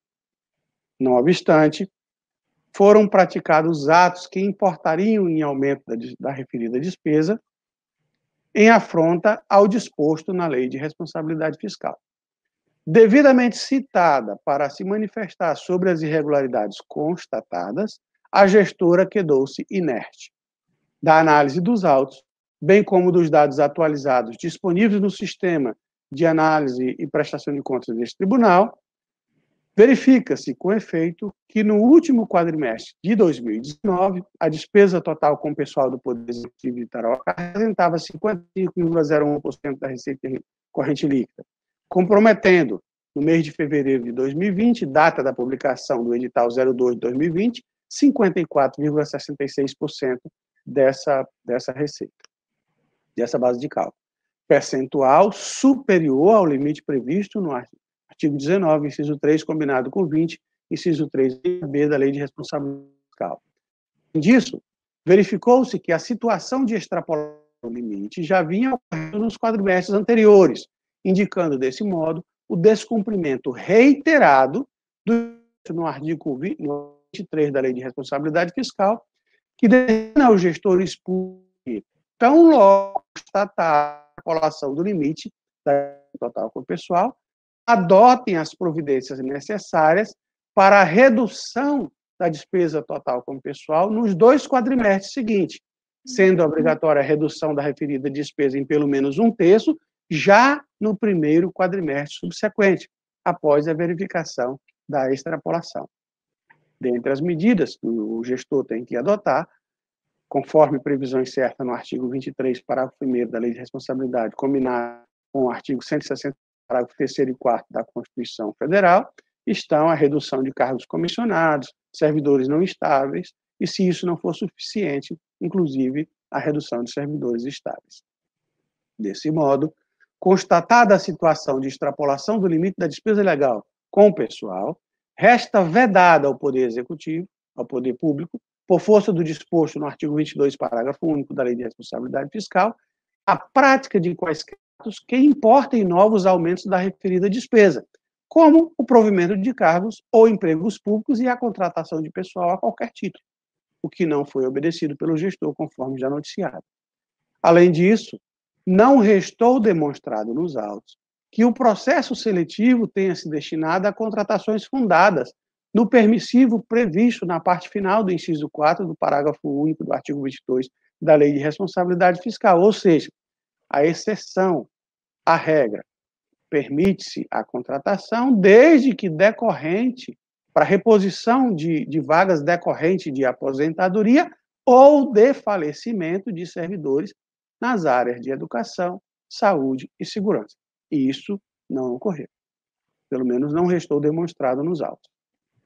Ante o exposto, forçoso concluir pela irregularidade do processo seletivo realizado pela Prefeitura Municipal de Tarauacá, tendo em vista que a despesa com pessoal do Poder Executivo Municipal por ocasião da prática dos atos impugnados se encontrava acima do limite previsto na Lei de Responsabilidade Fiscal. Sendo assim, este Ministério Público de Contas opina: a. Pela declaração de nulidade dos atos praticados pela Prefeitura Municipal de Tarauacá, em decorrência do processo seletivo objeto do edital número 2 de 2020, em particular eventuais contratações pessoal a título, realizadas em decorrência do referido processo seletivo, bem como de quaisquer atos que tenham importado no aumento da despesa total com pessoal, nos termos do mandamento contido no artigo 21, inciso 1, combinado com o artigo 22, parágrafo único, inciso 4, da Lei de Responsabilidade Fiscal. B. Pela aplicação em desfavor da gestora, senhora Marilete Vitorino de Siqueira, da multa prevista no artigo 5 inciso 4 e parágrafo 1 da Lei Federal número 10.028 de 2000, pela omissão no seu dever de promover a redução da despesa total com pessoal, aos patamares legais, bem como da multa prevista no artigo 89, inciso 2 da Lei Complementar Estadual número 38, 93, em razão da prática de atos vedados pela Lei de Responsabilidade Fiscal em situação de extrapolação da despesa total com pessoal. C. Pela notificação da gestora para que promova a imediata redução da despesa total com pessoal caso ainda persista o excesso, nos termos do disposto no artigo 23 da Lei de Responsabilidade Fiscal, aplicando, para tanto, as providências é, elencadas é, nos artigo, no artigo 169, parágrafo 3 e 4 da Constituição Federal, bem como para que se abstenha de praticar novos atos que impliquem em aumento da referida despesa, sob pena de nulidade, conforme estatui o artigo 22, parágrafo único da Lei de Responsabilidade Fiscal. Este é o parecer, senhor presidente, senhoras e senhores conselheiros. Obrigado, nobre procurador. Com a palavra, Sua Excelência, a relatora, para o seu voto. Obrigada, Excelência. É, como noticiei no relatório, foi pro, protocolizado no tribunal uma defesa no dia 25, que mesmo não podendo ser juntada aos autos, mas é, eu recebi, analisamos, e como na, não foi acrescentado nada que pudesse mudar o, o voto que vou prolatar, eu é, não retirei o processo de pauta e vou continuar. Então, é, demonstrei aqui no meu voto, num quadro, baseado nas informações do, do sistema de pessoal, demonstrando desde 2018 que o primeiro, no primeiro quadrimestre a, a, o percentual da despesa total de pessoal foi de 63,46% da receita corrente líquida, no segundo quadrimestre, 58,21%, no terceiro, 54,99%. No primeiro quadrimestre de 2019, o percentual de 53,92% no segundo quadrimestre 55, 57 e no terceiro 55,03, que é o percentual que deu base é, à análise do processo. E no primeiro quadrimestre de 2020 já se registrou o percentual de 53,28%. Com o resultado apresentado, verifica-se uma oscilação do percentual relativo à despesa com pessoal podendo-se vislumbrar que a gestora vem adotando medidas corretivas no sentido de cumprir o ordenamento jurídico aplicável à matéria. Isto observar que no primeiro quadrimestre de 2019, o órgão computou 53,92% é, da despesa de pessoal com relação à receita corrente, corrente líquida, enquadrando-se no artigo 20, inciso 3 a linha B da Lei de Responsabilidade Fiscal sendo que tais gastos voltaram a crescer no quadrimestre seguinte. E quanto a essa, quanto a essa situação, o artigo 23 da supracitada lei prevê que, uma vez ultrapassado o limite com a despesa de pessoal, o gestor deverá adotar providências no sentido de eliminar o percentual excedente nos dois quadrimestres seguintes, situação que ocorreu no presente caso, onde se constata que o órgão enquadrou-se novamente no limite legal no primeiro quadrimestre de 2020. Cumpre registrar que no dia 25 de agosto próximo passado, com o processo já em pauta, a prefeita, por meio do seu advogado, apresentou defesa alegando que, como o edital número 2 trata de processo seletivo para formação de cadastro de reserva, realizou-se apenas o cadastro dos aprovados, mas não houve contratação, tendo em vista que o programa foi suspenso em virtude da pandemia da Covid-19. Nesse sentido, está dependendo do governo federal para dar continuidade ao programa e determinar a quantidade de alunos que podem ser matriculados e a quantidade de professores e pessoal de apoio a ser contratado, e que provavelmente a execução não ocorrerá mais neste ano de 2020. Todavia, a gestora não apresentou comprovantes quanto às alegações. A prefeita aduz ainda que nos últimos meses o cálculo da despesa com o pessoal do município está abaixo do percentual máximo definido pela legislação. Destaca-se que, havendo ou não essas contratações, de fato ocorreu a redução da despesa total com o pessoal, como já mencionamos, motivo pelo qual mantivemos o processo em pauta de julgamento. Considerando que a Constituição Federal estabelece que a educação é um direito de todos e um dever do Estado, sendo este um direito fundamental juridicamente protegido, e, por fim, ponderando que, em casos análogos, como se verifica nos acordos números 11.857 e 11.948, 2020, do plenário desta Corte de Contas, tem, tem considerado o esforço dos gestores em se aproximar aos limites legais. Então, por isso, voto pela notificação da senhora Marilete Vitorino de Siqueira, prefeita municipal de Tarauacá, para que continue adotando medidas que possam efetivamente promover a redução da despesa com pessoal na forma e nos prazos previstos na Lei de Responsabilidade Fiscal, pela determinação à gestora que se abstenha de praticar atos que elevem a despesa com pessoal, pela determinação à DAFO que acompanhe esta decisão e pelo encaminhamento de cópia da decisão do Ministério Público Estadual, bem como a Unidade Ministerial de Tarauacá, a Câmara Municipal de Tarauacá e ao Tribunal de Justiça Estadual, e após a formalidade de estilo, pelo arquivamento dos autos. É como voto, senhor presidente, senhoras e senhores conselheiros. Obrigado, nobre conselheira. Em votação, conselheiro Valmir Ribeiro. Acompanho o voto, senhor presidente. Conselheiro Antônio Malheiro. Acompanho o voto, excelência. Conselheiro Ronald Polanco. Acompanho o voto, presidente. Conselheira Dulcinéia Benício. Com a relatora, excelência. Conselheira Nalu Maria. Com a relatora, senhor presidente. Aprovado por unanimidade nos termos do voto da conselheira relatora. Convido agora a Sua Excelência, o nosso presidente, conselheiro Valmir Ribeiro, para dirigir a presente sessão enquanto eu posso relatar os processos da pauta de minha relatoria. Passo, então, a palavra à Sua Excelência, o nosso vice-presidente, o conselheiro Valmir Ribeiro. Obrigado, senhor presidente. Bom dia a todos.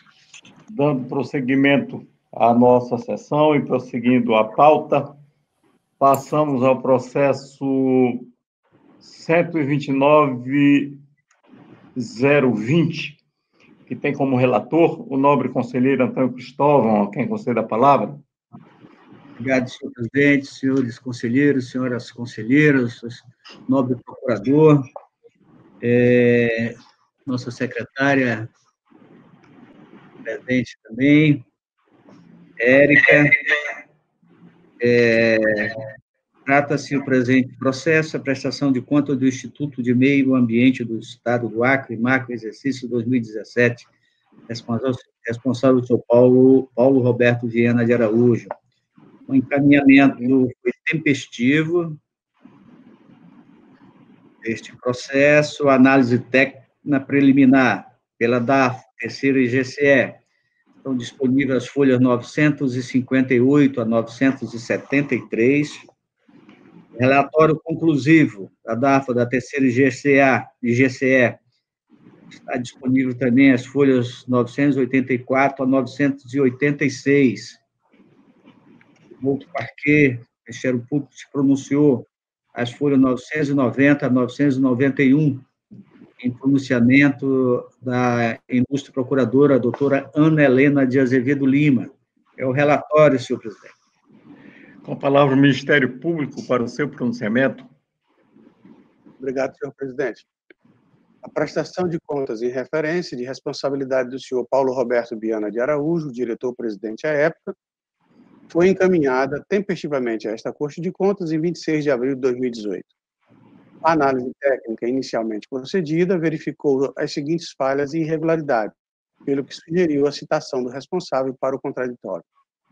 1. Um, inconsistência do balanço patrimonial em razão da não confirmação por meio dos inventários dos valores registrados nas contas, estoques, bens móveis, imóveis e ainda ausência do valor da depreciação no, no inventário de imóveis.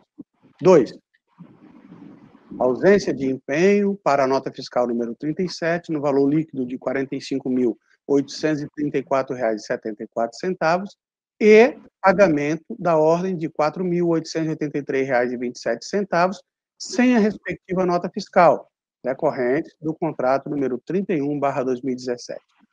Com efeito, foi citado para a defesa o senhor Paulo Roberto Viana de Araújo, que não aproveitou a oportunidade.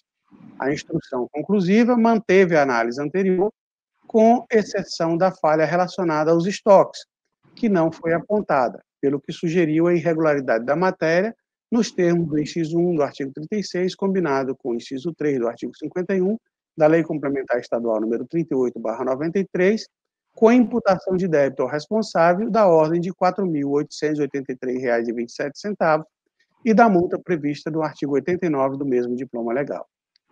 O processo foi encaminhado eletronicamente a este órgão ministerial em 19 de setembro de 2019. De acordo com as peças constantes do feito, verifica-se que os valores registrados nas contas estoque de R$ 58.797,22 e bens móveis da ordem de R$ 6.276.406,34 no balanço patrimonial divergem, respectivamente, em R$ 7.682,62 e R$ 44.850 daqueles evidenciados no relatório do almoxarifado, que registram, respectivamente, as quantias de R$ 51.114,60 e inventário de bens móveis, que registra um montante de R$ 6.231.556,34, o que resulta nas diferenças já mencionadas. Observa-se também que o inventário dos bens móveis não apresenta o valor das depreciações, cujo montante estado na contabilidade é de R$ 514.301 centavos. Destaca-se que não constam no feito as notas explicativas que elucidem o apurado, em descompasso com o que dispõe os artigos 96 e 105 da Lei nº 4.320-64, combinado com as normas brasileiras de contabilidade aplicadas ao público, sintetizado no Anual é, de Contabilidade Pública, no, sétima edição.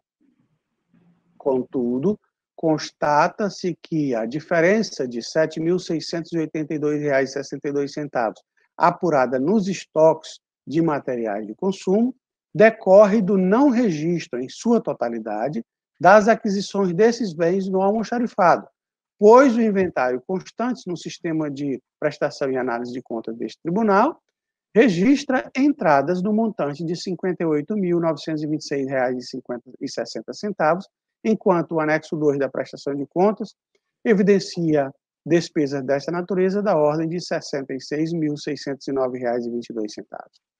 No que se refere ao montante dos bens imóveis, ou seja, R$ 75.302,46, registrados no balanço patrimonial, constata-se que este coaduna-se com o total evidenciado no inventário constante do sistema de prestação e análise de contas deste tribunal.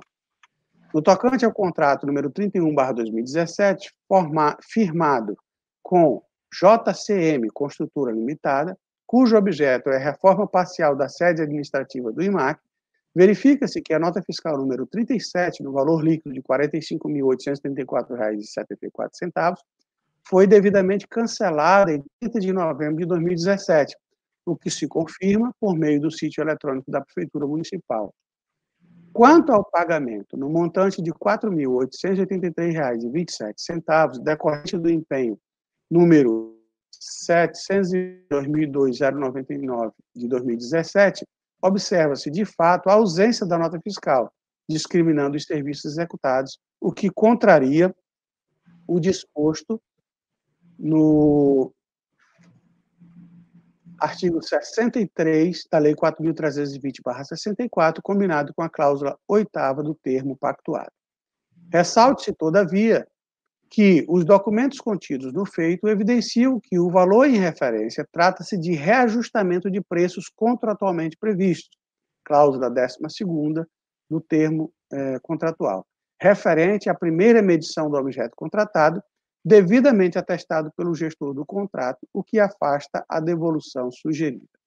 Ante exposto, este Ministério Público de Contas acompanha a instrução pela desaprovação da prestação de contas em tela, de responsabilidade do senhor Paulo Roberto Viana de Araújo, consoante disposto nas alíneas A e B do inciso 3 do artigo 51 da Lei Complementar Estadual número 38/93, com a aplicação da multa prevista no inciso 2 do artigo 89 do mesmo diploma, em razão das graves infringências à legislação de regência, especialmente da Lei nº 4.320/64. Finalmente, considerando os desencontros nas contas patrimoniais, e estes desencontros podem encerrar algum dano ao erário que não foi apontado pela instrução, esse Ministério Público de Contas sugere, antes do julgamento, a citação do responsável para o contraditório específico, sob pena de responsabilização pelas diferenças levantadas. Este é o parecer da lava da procuradora Ana Helena de Azevedo Lima. Com a palavra, nobre conselheiro relator, para proferir o seu voto. Obrigado, senhor presidente. É, em face o exposto, senhor presidente, conforme julgados, anteriormente, ante, julgados anteriores deste tribunal, é, voto pela regularidade com ressalva das contas do Instituto do Meio Ambiente, o Acre, MAC, Exercício Financeiro Orçamentário de 2017, de responsabilidade do senhor Paulo Roberto Viana de Araújo, diretor-presidente à época, com fundamento no artigo 2 do artigo do inciso 2 do artigo 51 da Lei Complementar Estadual número 3893, valendo como ressalvas as a ausência de depreciação do relatório contábil e de movimentação de bens móveis e imóveis, dispostos aqui no meu voto. Dois, pela notificação do atual responsável pelo Instituto de Meio Ambiente do Acre, MAC, para tomar conhecimento do apurado e providenciar nas próximas edições da espécie a regularização das ressalvas identificadas, sob pena de responsabilidade em caso de reincidência, nos termos do artigo 89, inciso 4 da Lei Complementar Estadual 38 de 93, após as formalidades de pelo arquivamento, é o voto, senhor. Em votação, conselheira Antônio Malheiro. Se acompanha o voto, a irregularidade que foi apontada inicialmente era o pagamento de R$ 4.883, que não obedeceu à formalidade exigida mas pelo montante nós temos seguido nesta mesma linha, e assim sendo, acompanha na íntegra o voto do novo relator. Conselheiro Ronald Polanco. Da mesma forma. Conselheira Dulcinea Benício. Com o relator, excelência. Conselheira Nalu Maria. Com o relator, senhor presidente. Conselheira Maria de Jesus. O relator, excelência. Decisão decidiu-se a unanimidade nos termos do voto do nobre conselheiro relator. Passamos ao processo 129.341. Continua como relator, nobre conselheiro Antônio, Antônio Cristóvão, a quem concede a palavra. Obrigado, senhor presidente.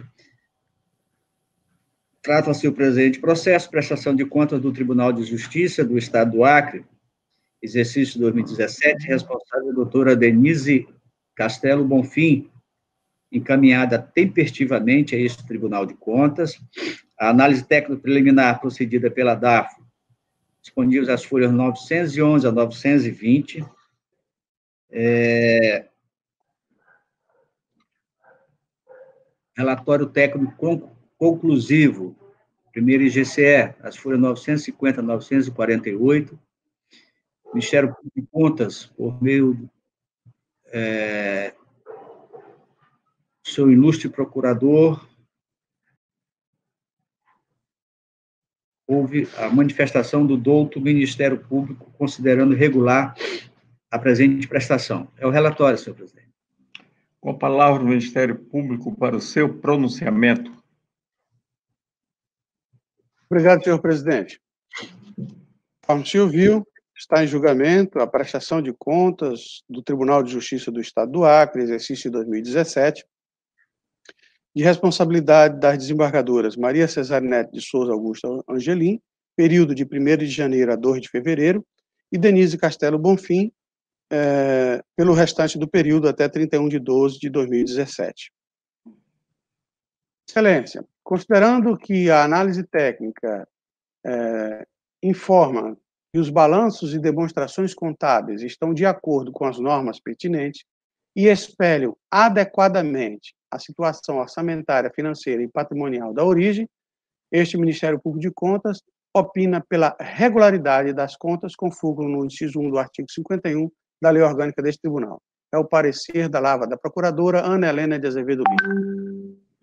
Com a palavra, o nobre conselheiro relator para proferir o seu voto.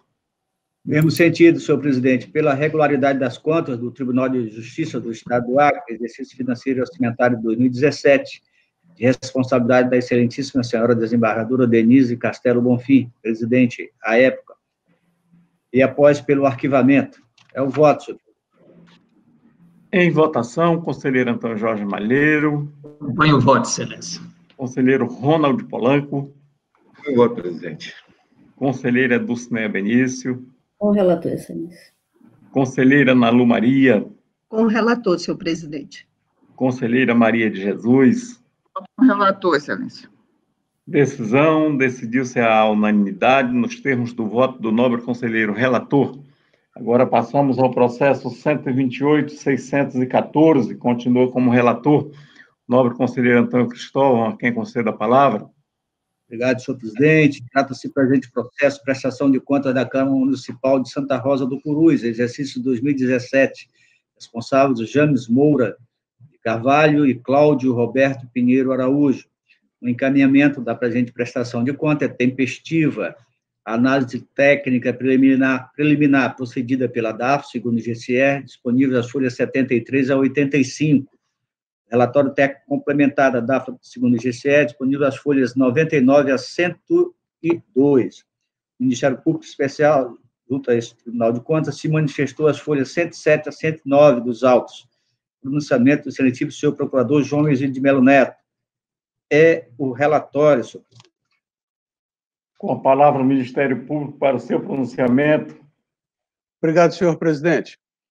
Trata-se de prestação de contas da Câmara Municipal de Santa Rosa do Purus, exercício de 2017, de responsabilidade do senhor James Moura de Carvalho, presidente à época, encaminhada tempestivamente a esta Corte de Contas no dia 29 de março de 2018 regularmente instruída, foram demandados ao contraditório, além do presidente à época, o contador da origem, o senhor Cláudio Roberto Pinheiro Araújo. Contudo, nenhuma resposta foi acostada aos autos.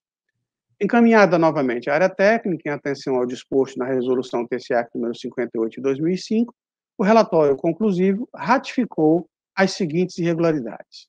1. Um, desatualização do inventário de bens móveis e ausência do inventário de bens imóveis.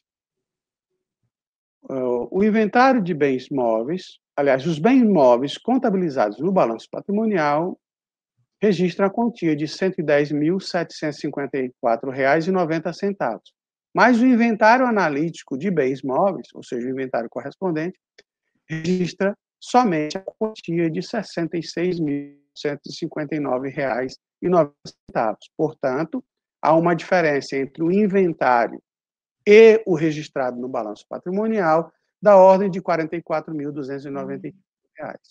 Dois,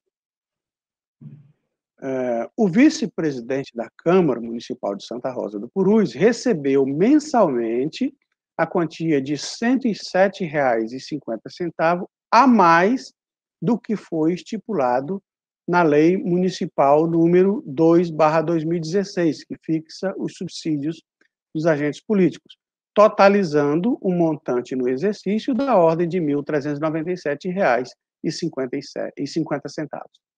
Três, não foi contabilizado o valor integral das obrigações patronais devidas no exercício.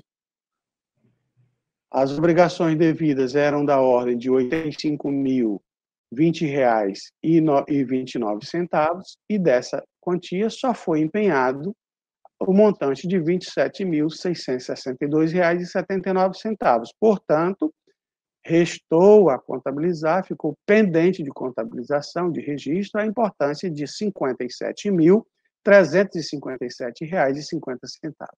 Quatro, ausência de finalidade pública na despesa no valor de mil reais, pagos é, em decorrência de juros e multa pelo atraso no envio da declaração de créditos e débitos tributários federais, da Câmara Municipal de 2019 e 2017. Dessa forma, a instrução concluiu pela irregularidade das contas, propondo a devolução dos valores impugnados por parte do presidente da Câmara à época, acrescido de multa acessória, sem prejuízo da aplicação de multa-sanção, esta também ao contador da origem processo foi recebido neste Ministério Público de Contas em 11 de fevereiro de 2020.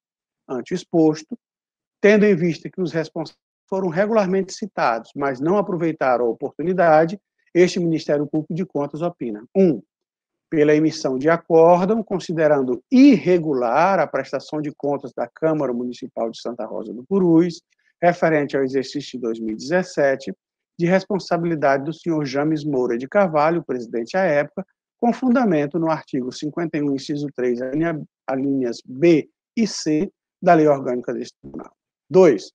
Pela condenação do senhor James Moura de Carvalho a devolver aos cofres do Tesouro Municipal a importância de R$ 2.397,50, em razão da divergência a maior no valor pago a título de subsídio ao vice-prefeito da Câmara, a vice-presidente da Câmara, e a importância de mil reais pago como multa é, pelo atraso na entrega da declaração de créditos e débitos tributários federais.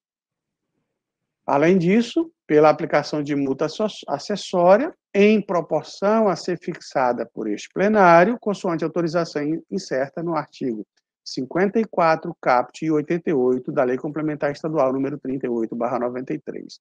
3 pela condenação do senhor James Moura de Carvalho, presidente à época, ao pagamento de multa-sanção, também dosada a critério do plenário, em razão das ocorrências listadas neste parágrafo configurarem graves infringências às normas legais de regência da matéria, nos termos da autorização incerta no artigo 89, inciso 2 da Lei Complementar Estadual número 38/93. 4. Pela condenação do senhor Cláudio Roberto Pinheiro Araújo, contador responsável à época, ao pagamento de multa-sanção, também dosada a critério do plenário, em razão das ocorrências listadas nos itens 1 e 3 deste parecer, configurarem graves infringências às normas legais de regência da matéria relacionadas diretamente às atribuições de seu cargo, tais quais inconsistência dos valores registrados nas contas de bens móveis e não contabilização do valor integral das obrigações patronais devidas no exercício, nos termos da autorização incerta no artigo 89, inciso 2 da Lei Complementar Estadual, número 38/93. 5. Pelo encaminhamento de cópia do apurado à Receita Federal do Brasil no Acre, bem como ao Ministério Público Federal e ao Ministério Público do Trabalho, para as providências que entenderem adotar, em razão do que foi noticiado no item 3 deste parecer. E seis, pela comunicação da apurada ao Conselho Regional de Contabilidade, Seção Acre, para as providências tá, quanto a conta profissional sujeito a sua Este é o parecer, senhor presidente, senhoras e senhores conselheiros. Com a palavra o nobre conselheiro relator para proferir o seu voto. Obrigado, nobre presidente. Senhor presidente, eu vou ao voto em relação à inconsistência apurada referente à desatualização do inventário de bens móveis e, e ausência de inventário de bens imóveis, verifica-se que o prazo para a implantação dos, eh, procedimentos patrimoniais, como reconhecimento, mensuração e evidenciação dos bens móveis e imóveis para o município com até 50 mil habitantes, finalizará no dia 1 de 1 de 2021, conforme dispõe o item 3.3.3 do anexo da portaria STN 548 de 24 de setembro de 2015, publicado no Diário Oficial da União, número 186, seção 1, página 24, de 29 de 9 de 2015. Dessa, desta forma, considerando que o feito sob análise se refere ao exercício de 2017, não restou não restou esgotado o aludido prazo, razão pela qual considero essa ocorrência como ressalva. Quanto aos achados retinentes às divergências no valor pago, a maior ao vice-presidente da Câmara no valor de R$ 107,50, em relação ao que foi estipulado na lei, é, é, e a ausência de finalidade pública das despesas no valor de R$ reais, com multa de juros pelo atraso no envio da declaração de débitos de créditos tributários federais da Câmara no período de 2009 e 2017, constata-se que a instrução quantificou o montante do débito de R$ 2.397,50, valor este classificado pela jurisprudência, jurisprudência pacífica desse Tribunal de Contas como pequena monta, ou de baixa materialidade, materialidade, a teor do princípio da, da bagatela ou insignificância, o que leva ao arquivamento dos autos em relação à devolução de valores sugerido e à classificação de inconsistência como ressalva, sem prejuízo da comunicação do apurado como ressalva.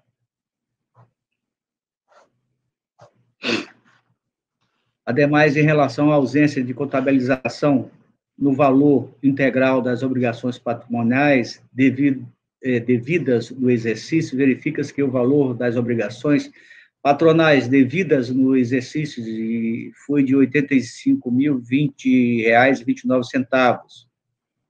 Contudo, foram empenhados R$ 27.662,79 restando a contabilizar a quantia de R$ 57.357,50. Assim, tendo em vista que não se apurou a falta de contabilização de todo o recurso relacionado às obrigações patronais devidas, mas somente a, de parte dela, afigura-se cabível classificar como ocorrência como ressalva. Contrata-se, é, constata-se, portanto, que as ocorrências apuradas configuram omissões, impropriedades contábeis e falhas formais que não, não representam prejuízo ou risco de dano patrimonial, podendo ser classificada como ressalva.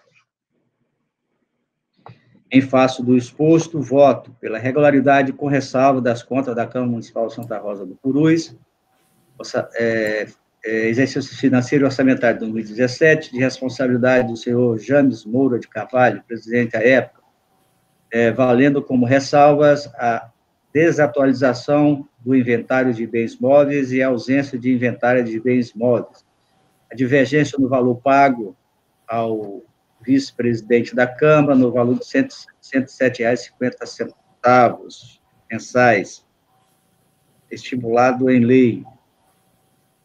Ausência de contabilização do valor integral das obrigações patronais devido no exercício. Ausência de finalidade pública das despesas no valor de mil reais, com multa de juro pelo atraso do envio da declaração do débito de créditos tributários federais da Câmara do período 2009 e 2017. Pela notificação do, do atual presidente da Câmara Municipal de Santa Rosa do Purus, para tomar conhecimento do apurado e providenciar nas próximas edições da, da espécie a regularização das ressalvas identificadas sob pena de responsabilidade em caso de reincidência nos termos do artigo 39, inciso 4 da Lei Complementar 3893. Após pelo arquivamento, são, é o voto, senhor presidente. Em votação, conselheiro Antônio Jorge Malheiro. Em voto, silêncio. Conselheiro Ronald Polanco. Acompanho o voto, presidente. Conselheira Dulcinea Benício. Com o relator, excelência. Conselheira Nalu Maria. Com o relator, senhor presidente. Conselheira Maria de Jesus. Acompanho o voto do relator, excelência. Decisão. Decidiu-se a unanimidade nos termos do voto do nobre conselheiro relator. Passamos ao processo 127.850, continua como relator, nobre conselheiro Antônio Cristóvão, quem concede a palavra. Senhor presidente, esse processo seguinte da pauta, o item 14 ao 16, trata-se de aposentadorias é, e registro de aposentadoria, de reserva e reforma do Estado do Acre. Eu gostaria de julgar os três processos em bloco. Ouço o Ministério Público. Doutor João Isidro. De acordo. É, nobres conselheiro Antônio Malheiro. De acordo, excelência.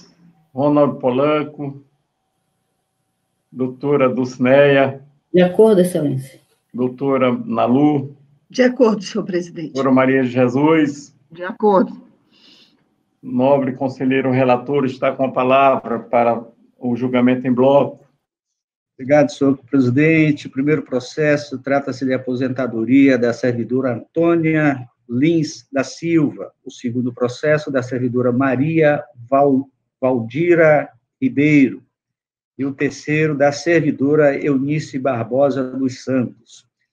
Todos os três processos, senhor presidente, foi bem analisado pela DAFO por meio de relatórios técnicos é, exarados nos autos, exarados nos autos. A análise técnica opinou pela regularidade de registro das aposentadorias, todos os processos com pareceres do Ministério Público, senhor presidente.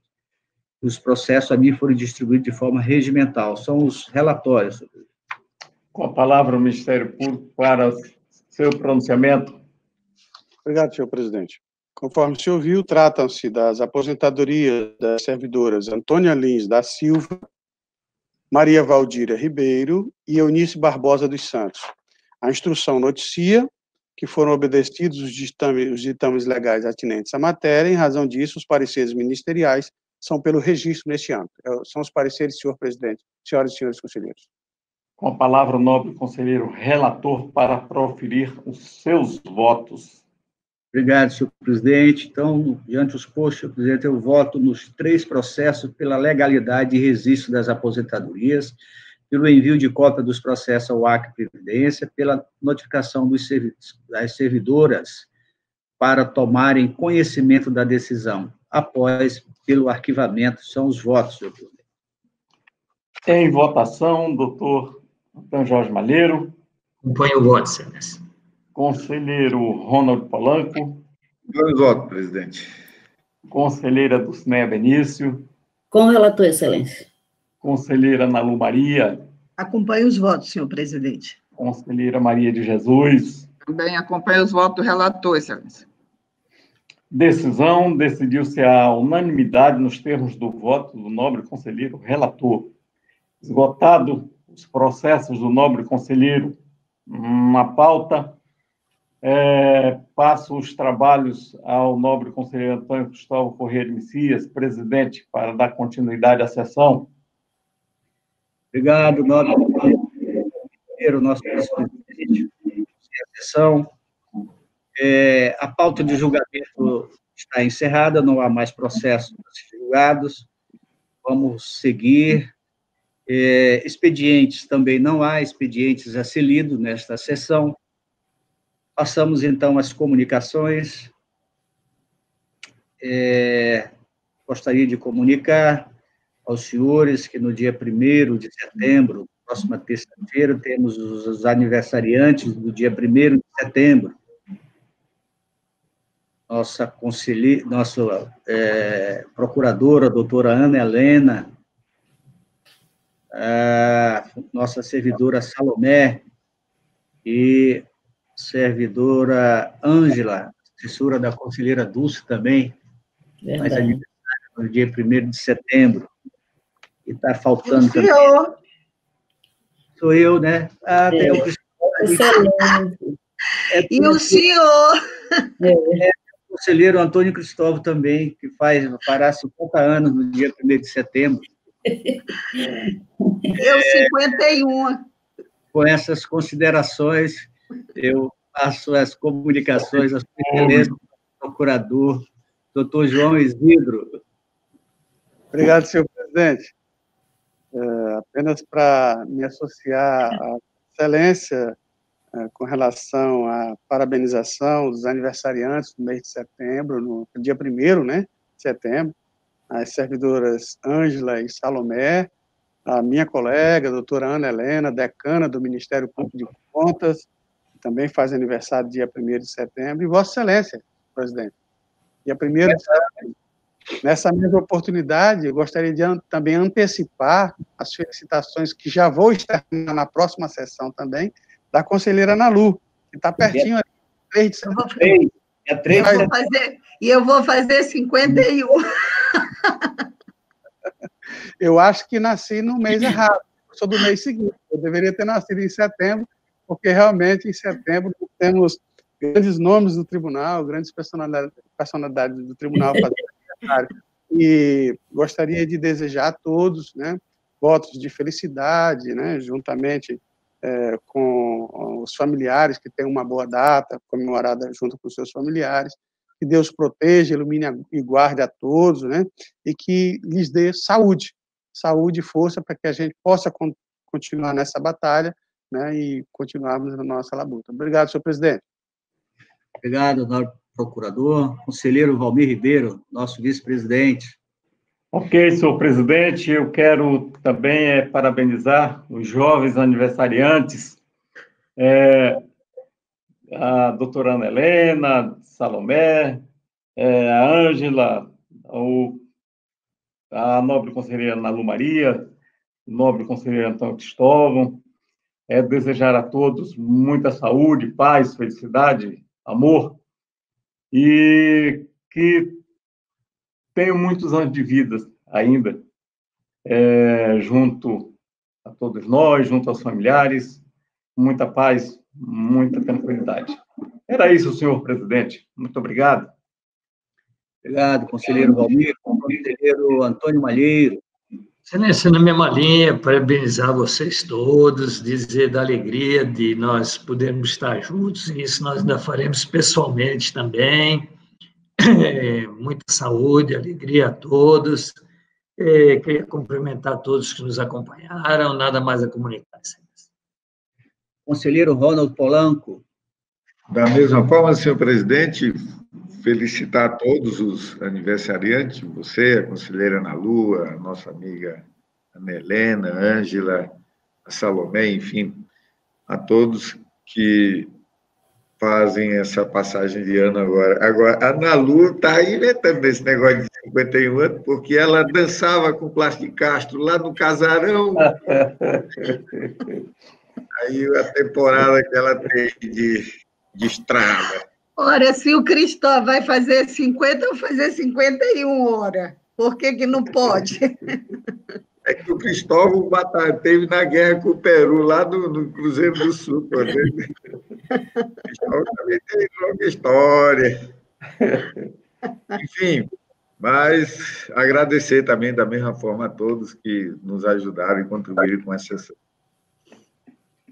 Obrigado, conselheiro Polanco. Conselheira Dulcinéia Benício. Obrigada, presidente.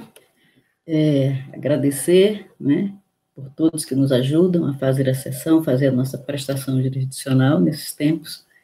E também parabenizar a todos, né, conselheiro Nalu, conselheira Ana, Vossa Excelência, que vai fazer 70 anos, a Ângela, a Salomé, desejando que Deus dê muita saúde, né, e vida longa a todos vocês. Obrigada, senhor presidente. Obrigado, nobre conselheira. Conselheira Nalu Maria, que fará também aniversário dia 3, a grande pescadora. Eu vou, logo, eu vou logo dizer para vocês que faltam três anos para 60. Vocês conheceram, tiveram o privilégio de conhecer a, a, a ex-deputada Esther Gross. Ela foi secretária também de Educação de São Paulo. A Esté, ela era uma senhora, é, é uma senhora, a Esté não morreu. Ela, ela dividia-se o cabelo entre. Aí botava verde aqui, laranjado aqui, amarelo, não sei aonde. Eu quero dizer, com 60 anos, falo só três anos, as minhas filhas já estão revoltadas, minhas netas com certeza vão ter bullying, mas eu vou cortar meu cabelo bem curtinho, bem curtinho, e toda sessão eu venho de uma cor diferente, só para agitar a galera. E aí, é, é, eu, eu vou fazer 57, né?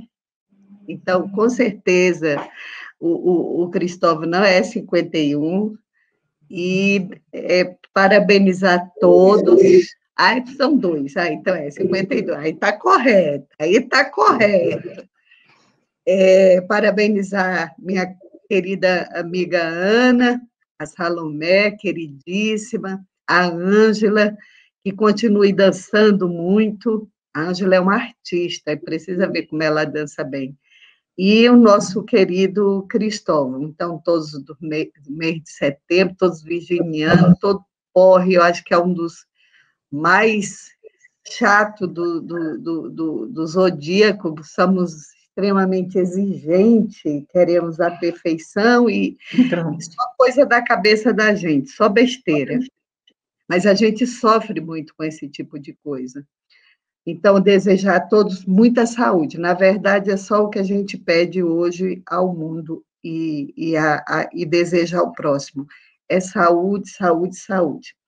Um beijo muito grande. Ah, hoje a gente começa, é, Cristóvão, é, recomeçamos o curso do, do doutor Anastácio. A gente aproveita a oportunidade e agradece imensamente de coração ao Tribunal de Justiça, está cedendo tanto o doutor, é, é, juiz e professor é, Anastácio, como também é, uma parceria do Tribunal de Justiça com o Tribunal de Contas, e a, entre as duas escolas, e aqui eu queria imensamente é, é, agradecer ao doutor Roberto, o desembargador Roberto, responsável pela Escola de ah.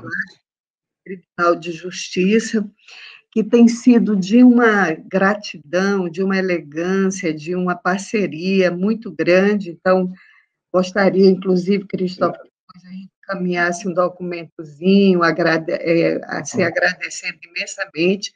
Vamos usar a plataforma, inclusive, deles, então ah, vai ser muito legal, muito legal. Tem muita gente já. É. E ontem nós fechamos o, o com o, o TCU, é, com a, a, auditora Vanessa, mais o auditor André, e, e tinha um que eu não, estou aqui lembrando bem o nome, foi ótima a participação muito boa dos auditores, GU, Magali, res, é, perguntando muito, e aí eu só tenho que agradecer a você, Cristóvão, e a equipe da Escola de Contas. Obrigada. Obrigado, conselheira, pelas suas palavras.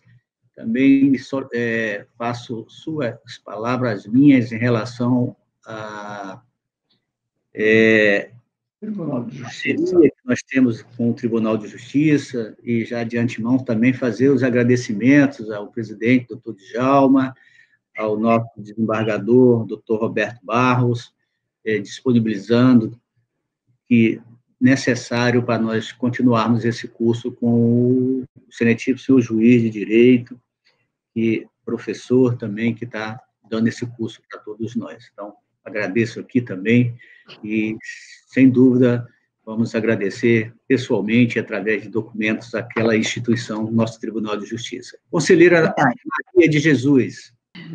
Excelência, eu tenho uma dúvida, não sei se eu me distraí, a conselheira Dulce falou? Falou. Falou? Então, deve ser a idade. Olha, esse negócio de idade. Pois é. É. Então. Eu, eu sei que a senhora está muito lúcida ainda. Pois é, mas eu parece que eu sou a idosa da turma, né? Certeza, mais 10 anos, mais 10 anos estará aqui com a gente. Só eu que já passei dos 60, todo mundo aí não quer sair do, dos 50 anos. Agora, é, eu quero me aliar a tudo que foi falado, né, com relação aos aniversariantes, nosso presidente, a nossa procuradora Ana Helena, Salomé, a Ângela. Então, meus parabéns e também as minhas orações por saúde para todos vocês. Mas eu queria pedir permissão para acrescentar mais um nome nessa lista, Sim. que é a minha filha do meio. Ela também faz aniversário no dia 1 de, de setembro. E aí eu fiquei muito preocupada. Diga, presidente. Tudo gente boa. E aqui também, além é, de sua filha, vou fazer aqui também é, é, uma homenagem também, eu acho que justa, que no dia 1 de setembro também fazia aniversário aqui também, o nosso saudoso procurador-chefe do Ministério Conte. Doutor Conte. Então, lembrei aqui agora dele e gostaria também de deixar registrado que dia 1 de setembro também, o aniversário do esposo é nosso procurador, é doutor Conde. É verdade. Eu, eu ia acrescentar, mas quando o senhor interferiu, eu deixei que eu fizesse. É, então, a minha filha do meio, também faz aniversário, e aí me preocupa porque a minha filha do meio vai estar fazendo 40 anos. E aí eu fiquei preocupada porque vocês ainda aí com 50 e para 51 é tão difícil. E, e aí, poxa vida, e a minha filha já está fazendo 40, olha só. E é do meio, não é a mais velha. Bom, mas. Você é muito apressadinha, falei... viu, conselheira é, é, é Jesus? Esse é, é o seu problema. É não, conselheira Nalu, porque a senhora está esquecendo. Cedo. A senhora está esquecendo que eu já tenho 65. 65, Isso eu não posso esquecer, né? Porque ninguém deixa eu me esquecer disto. Então, está aí publicado para todo mundo. Eu tenho 65 anos, graças a Deus, como falei outro na sessão, com saúde e lucidez. E continuo pedindo a Deus que me deixe assim. Me acho ainda bastante útil e por isso continuo aqui dando a minha contribuição, né? E não me sinto essa pessoa idosa desse jeito, né? Mas tudo bem, como já tenho 65, então essa minha filha nasceu, eu tinha 25, acho que não era tão, tão cedo assim, não. Mas não me apressei tanto, não, viu, conselheira Nalu? Mas é isso. Então, como já desejei, parabéns a todos, né? E, e as minhas orações, rogando a Deus por saúde para todos, todos os aniversariantes e também a todos a todos nós que estamos aqui, que Deus nos, nos proteja dessa, dessa pandemia, desse vírus, para que a gente possa continuar aqui a nossa caminhada. É, e nada mais a comunicar, a não ser agradecer também a todos que nos ajudam nessa batalha. Obrigado, conselheira Maria de Jesus. Eu agradeço também as pessoas aqui que nos ajudam na condução da nossa sessão, nossa secretária Érica, nosso chefe com a gente, Peru, a Guimara sempre aqui presente, a Jacira, que está lá na nossa rádio web. Agradeço os nossos ouvintes da rádio web, e aqueles que nos assistem através do YouTube. É, Dou, então, por encerrada a presente sessão e convoco uma de orla regimental e peço a tolerância de senhores conselheiros e conselheiras do Ministério Público que permaneça mais um pouco aqui na sala para que nós possamos fazer uma sessão rápida administrativa. Então, um bom dia a todos que nos estão ouvindo e vendo através do YouTube e da nossa rádio web. Thank you.